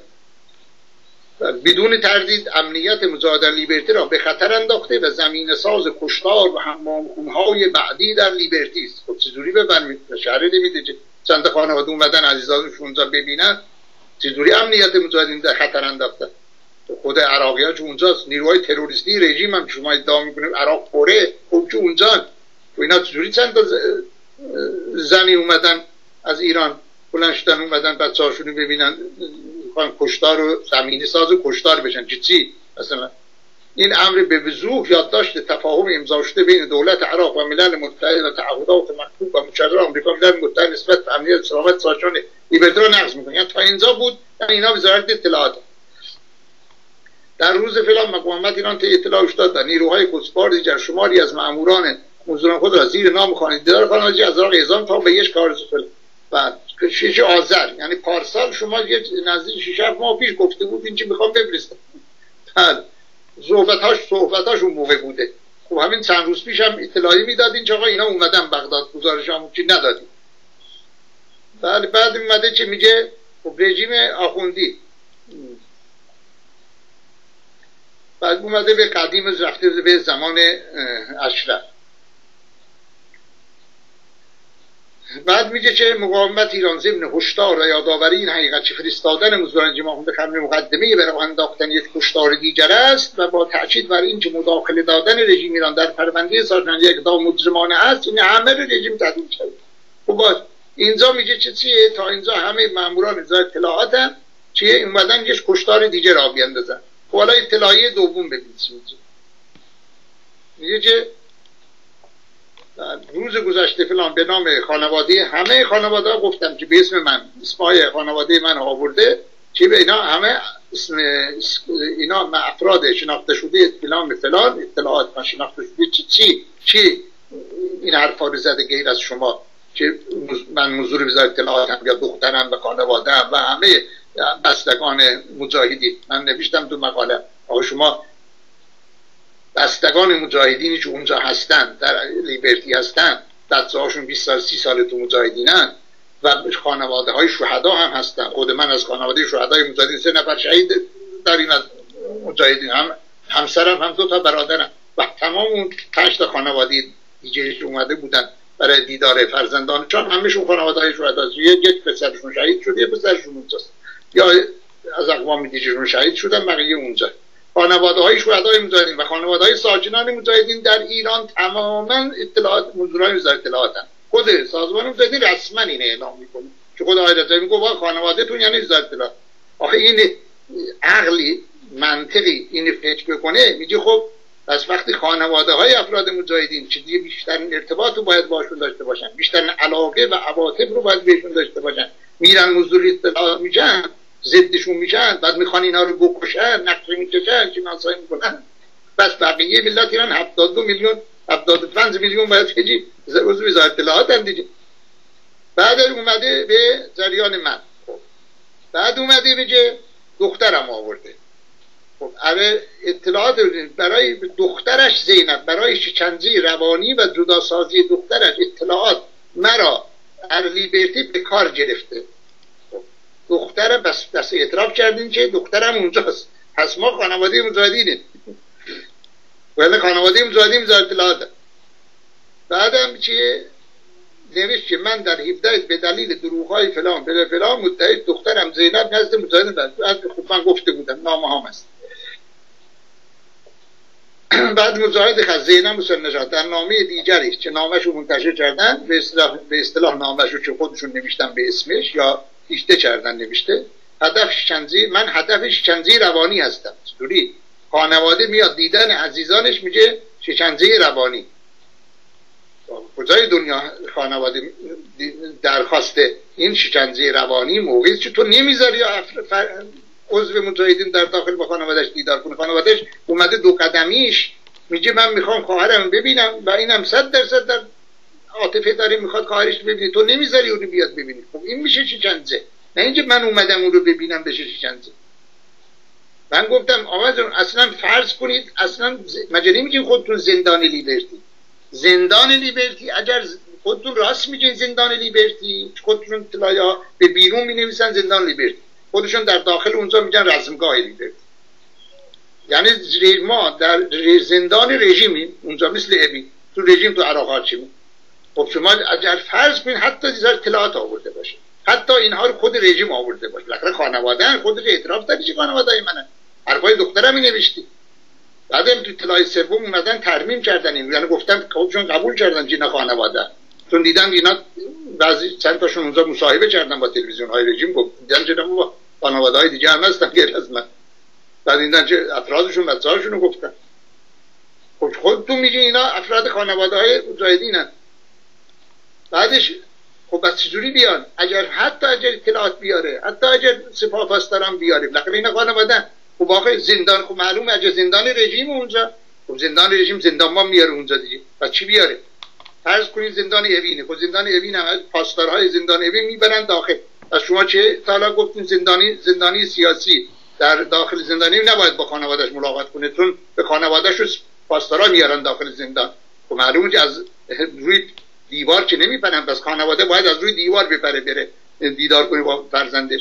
اگه زندانه حتی اگر اطلاع هیچ معیار حقوق بشری و اخلاقی عرفی توجیه نمی‌کنه این حرفا رو. حتی بذار اطلاعات هم بود که اصلا نیست هم چیز اینا با وزارت حقوق بشر عراق مامورین عراقی رفتن اونجا.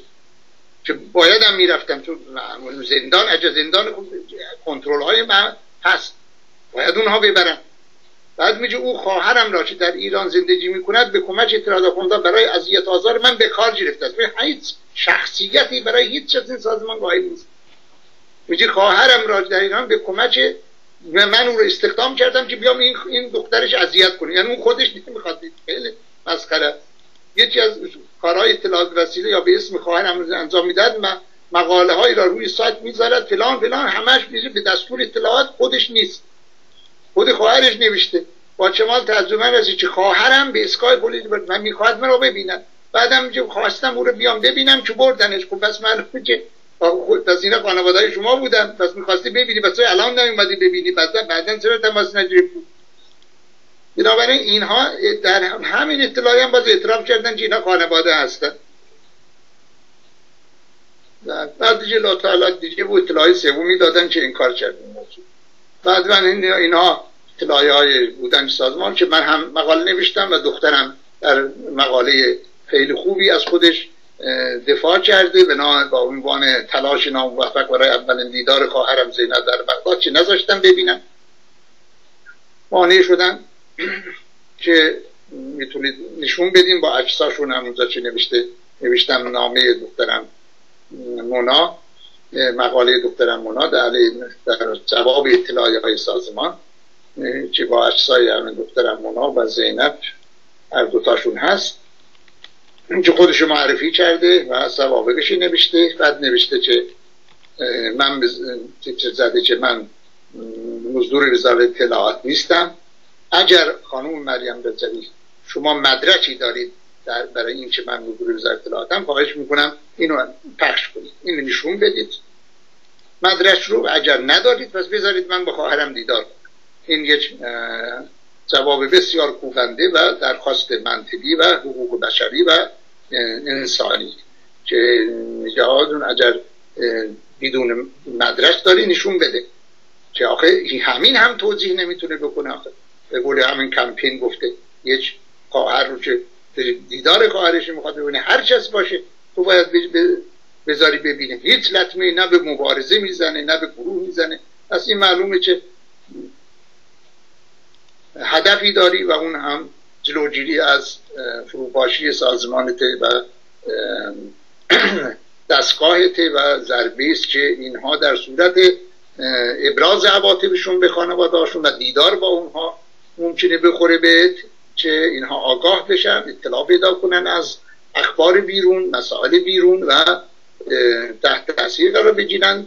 ببینن خب مبارزه در کار نیست برای چی نجات داشته اینها رو اونجا برآوردن اهداف خود ترس از این است که حتی در آلبانی هم که فرستادی به خارج اونجا رفتن ایده از مسئولینش در از یک فرستاده اونجا که تا افراد جدا شده را هم حتی اونجا که جدا شدن ساختمانشون هم دولت آلبانی جدا کرده تحت کنترلش در بیاره که مبادا با خانواده ها دیدار کنن. انواع فضاهایی درست کرده که آیا چه بیان خانواده اینجا اطلاعات مبادا تماس بگیرید تا اونا را با تطمیع و تهدید و انواع راه ها نتون نذاره که تماس بگیرن تا هر میشه بر سازمان در خدمتش باشند که بتون از اونا استفاده کنه. بقیه تشکیلات نجات داره که فرو نپاشه این سازمان با رهبریشون دم دستگاهشون به ظاهر به ظاهر حفظ بشه. که آقا بله ما همون هستیم و آبروی این رهبری سازمان نره و تلاشی نشه. هدف سازمان همینه. علاوه بر پشت دم توپ کردن و دیوار پوشتی درست کردن بر دور رهبران سازمان که باید باشن که اینا حفاظت بشن در عراق یا هر و اهدافی چه تبلیغاتی چه داره برای ابراز وجودش که می‌تونید الان نامه دخترم مونا رو همه خوندن که حرف آخری چه زده؟ گفته اگر من مونا حسین نجات مدرکی مبنی بر اینکه با اطلاعات همکاری می‌کنم. به خطاب خانم مریم رضایی دارید آن منتشر کنید. در غیر این صورت بگذارید من خواهی را که بیش از در انتظار دیدنش هستم برای اولین بار در زندگیم ببینم. در ایران خانواده ها که فرزندانشان به ناحق زندانی هستند موفق به دیدار آنها در زندان می‌شوند. گفته که در ایران آخه زندان حتی در ایران رژیم ما داریم مبارزه می‌کنید. در زندان اون افراد خانواده هاشون میرن دیدار می‌کنن. چگونه است که من بعد از این همه سال با همین تلاشایم نتوانستم برای اولین بار در عمرم خواهرم را ببینم. از رهبران سازمان مجاهدین و همه سازمان های بشری و وجدان های انسانی می‌پرسم آیا این یک درخواست زیادی و دشواری است؟ این از به منطقه آخر دخترم مونا حسین نژاد در تهران. من اینجا صحبت هم تموم شد. شما اگر سوالی دارید یا بینندگان سوالی کردن بجید یا اگر وقت نیست بجن با در وسیله ایمیل هم یا و فیس هم فیسبوک هم می‌تونید نشون بدین با من تماس بگیرن. بسیار ممنون. ایمیل شما رو در طی برنامه نشون دادیم فیسبوک شما رو نشون دادیم نامه دخترتون مونا رو هم نشون دادیم و امیدوارم دوستان پیگیری کنن. اگر سوالی پرسشی هست یا نظری هست با شما مستقیما یا با تلویزیون مردم تماس بگیرن یا با کانون آوا تا برنامه در برنامه آینده در این موارد صحبت کنیم. بازم از شما ممنونم و امیدوارم روزهای بهتری در انتظار شما و خانواده شما باشه. ممنون. سپاس از زحمات شما. بسیار ممنون. آخر هفته خوبی براتون آرزو می‌کنم. دوستان همیشه نرندگان مرسی. خب دوستان عزیز یک ویدیوی دیگه ای هم هست که این رو چندین بار دیدید ولی یک بار دیگه هم نگاه کنید و ببینید که خانوادهایی که به دیدار افراد خانواده خودشون فرزندانشون رفتن با چه به اصطلاح استقبالی و با چه رفتاری روبرو شدن. من در اینجا به اتفاق آقای حسین نژاد از شما خداحافظی می‌کنم و برنامه ها رو با هم پی می‌گیریم. روز روزگار بر شما خوش.